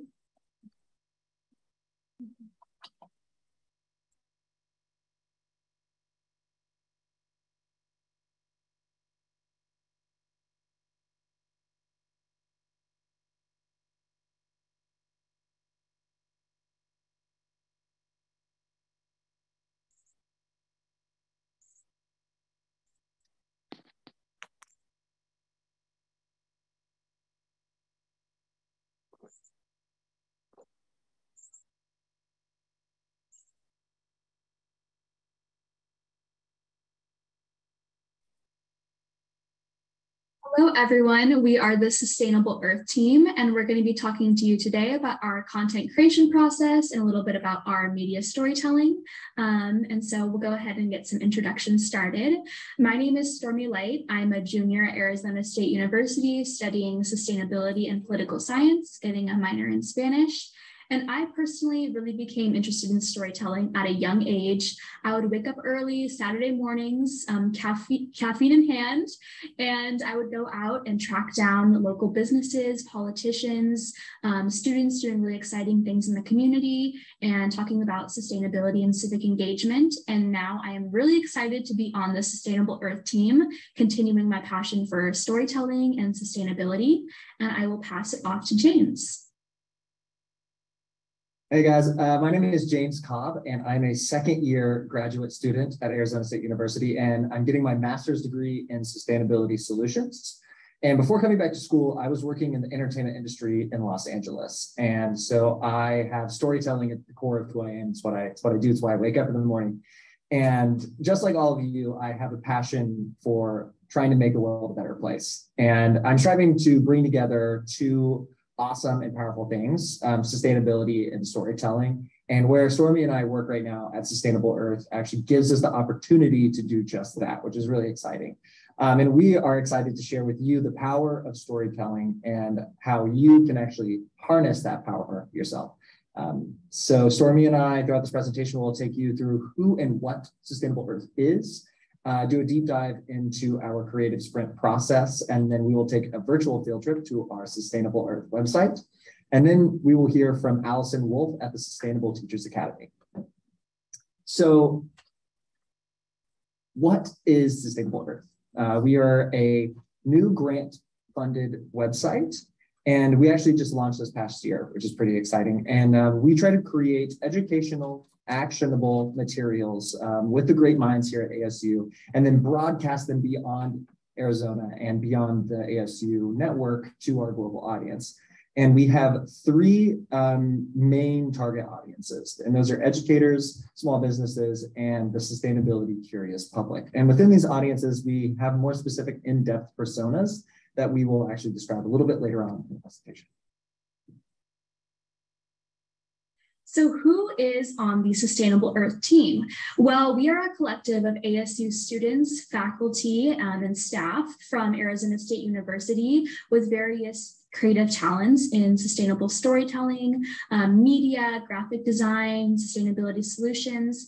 And what's really unique about our team is that we're almost entirely student run. So we are um, mainly built up of graduate and undergraduate students, and we have our fearless leader, Kate, who guides us throughout our sprint process, which we'll get to later on in our presentation.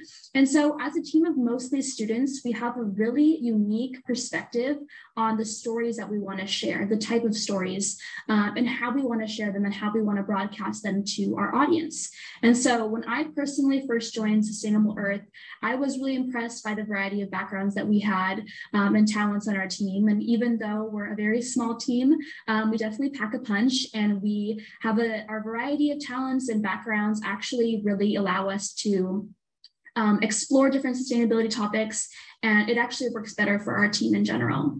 And as and as a team, we don't have all of the experience in, in every area. And so this is where we prioritize making connections with our contributing partners. And uh, here on the screen, you can see a few of our uh, contributing partners that we work with to share new and existing resources. And if you're interested in contributing or partnering with us, we are always looking for ways to meet the needs of our content uh, with contributing partners. So now I'm going to share um, a few of the various components to our site and how our diverse scope of work um, really allows us to connect to a greater audience in general. So our videos created by our amazing team allow us to form greater connections to visual learners.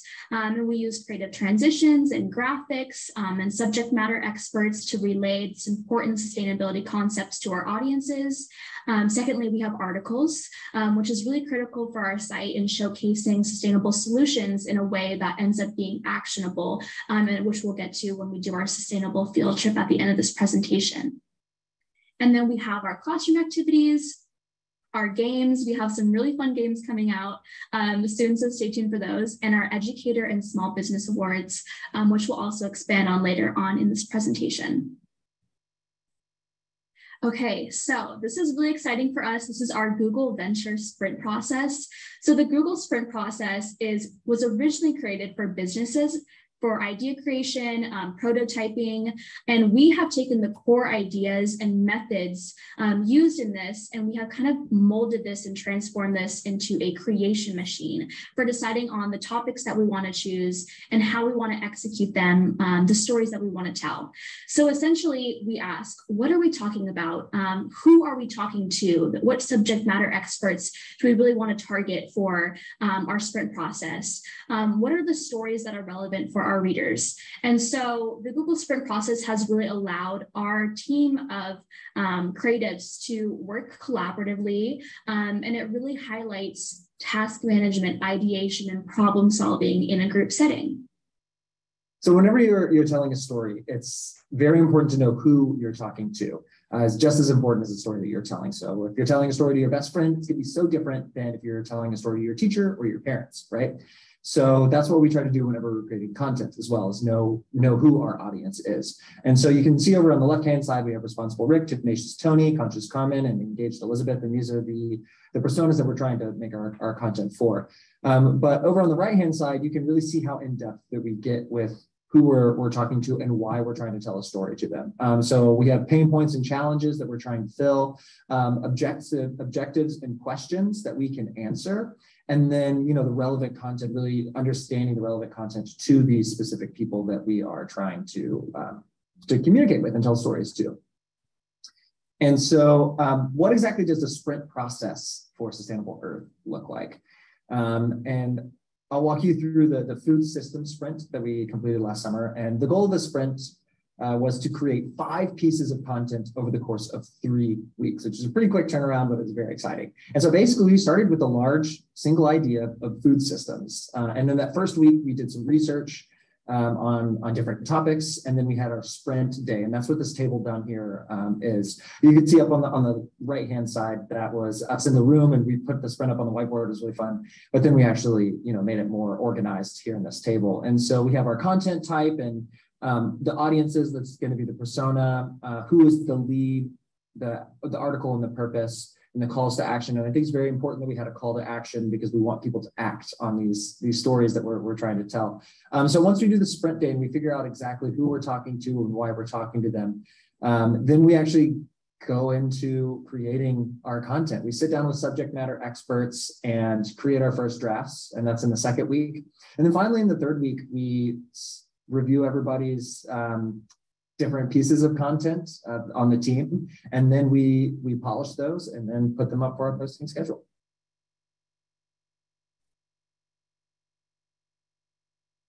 Awesome. Thanks, James. Um, now we're going to be going into our Sustainable Earth Educator Awards, also known as the SIAs.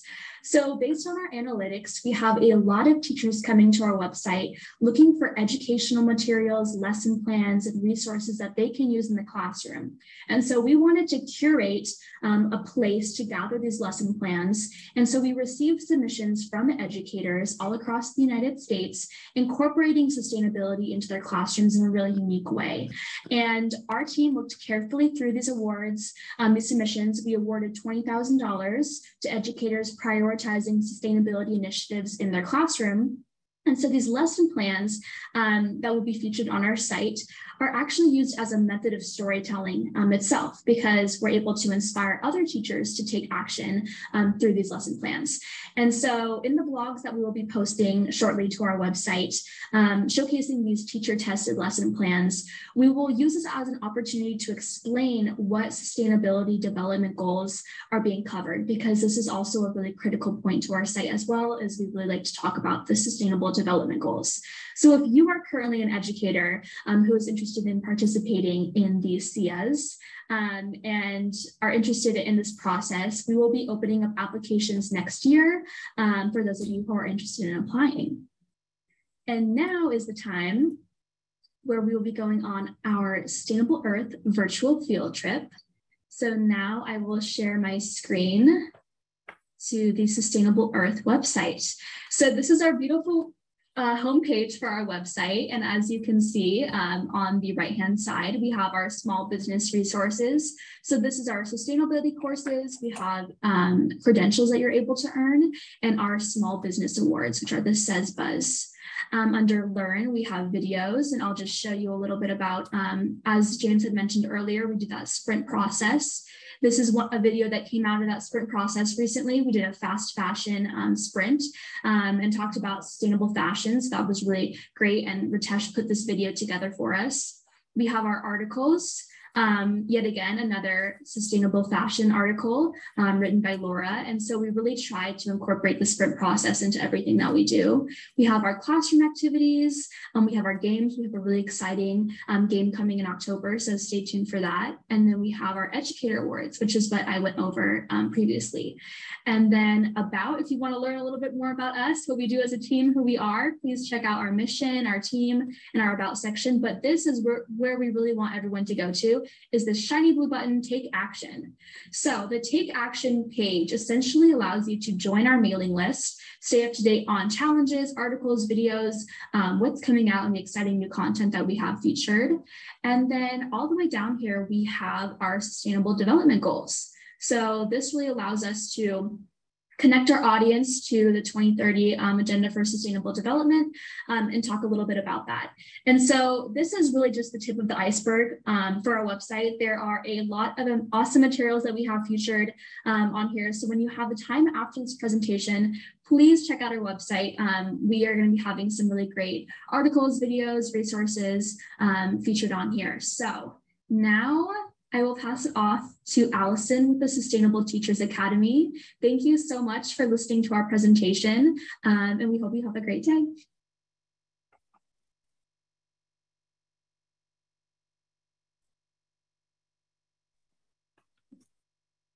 Thank you so much, everyone.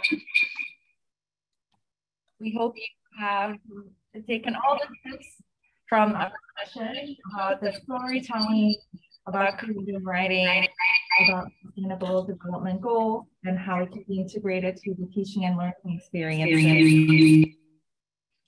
Sorry for the feedback.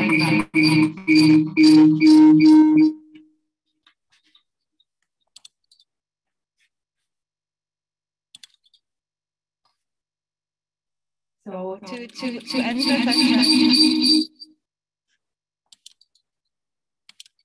to end the session, uh, we wanted to just leave you with our very last kind of call, um, something exciting to look forward to for the fall, um, which is uh, Fridays for Future uh, work that we're going to do. We're going to be inviting all of our, through our Eco Ambassador Network, a lot of speakers, a continuation of everything that we have discussed in today's uh, webinar. Um, to really stay connected with our networks. You know, uh, David and Radhika have shared some of the steps forward, some considerations. All of our students and teachers today have given us so much to think about.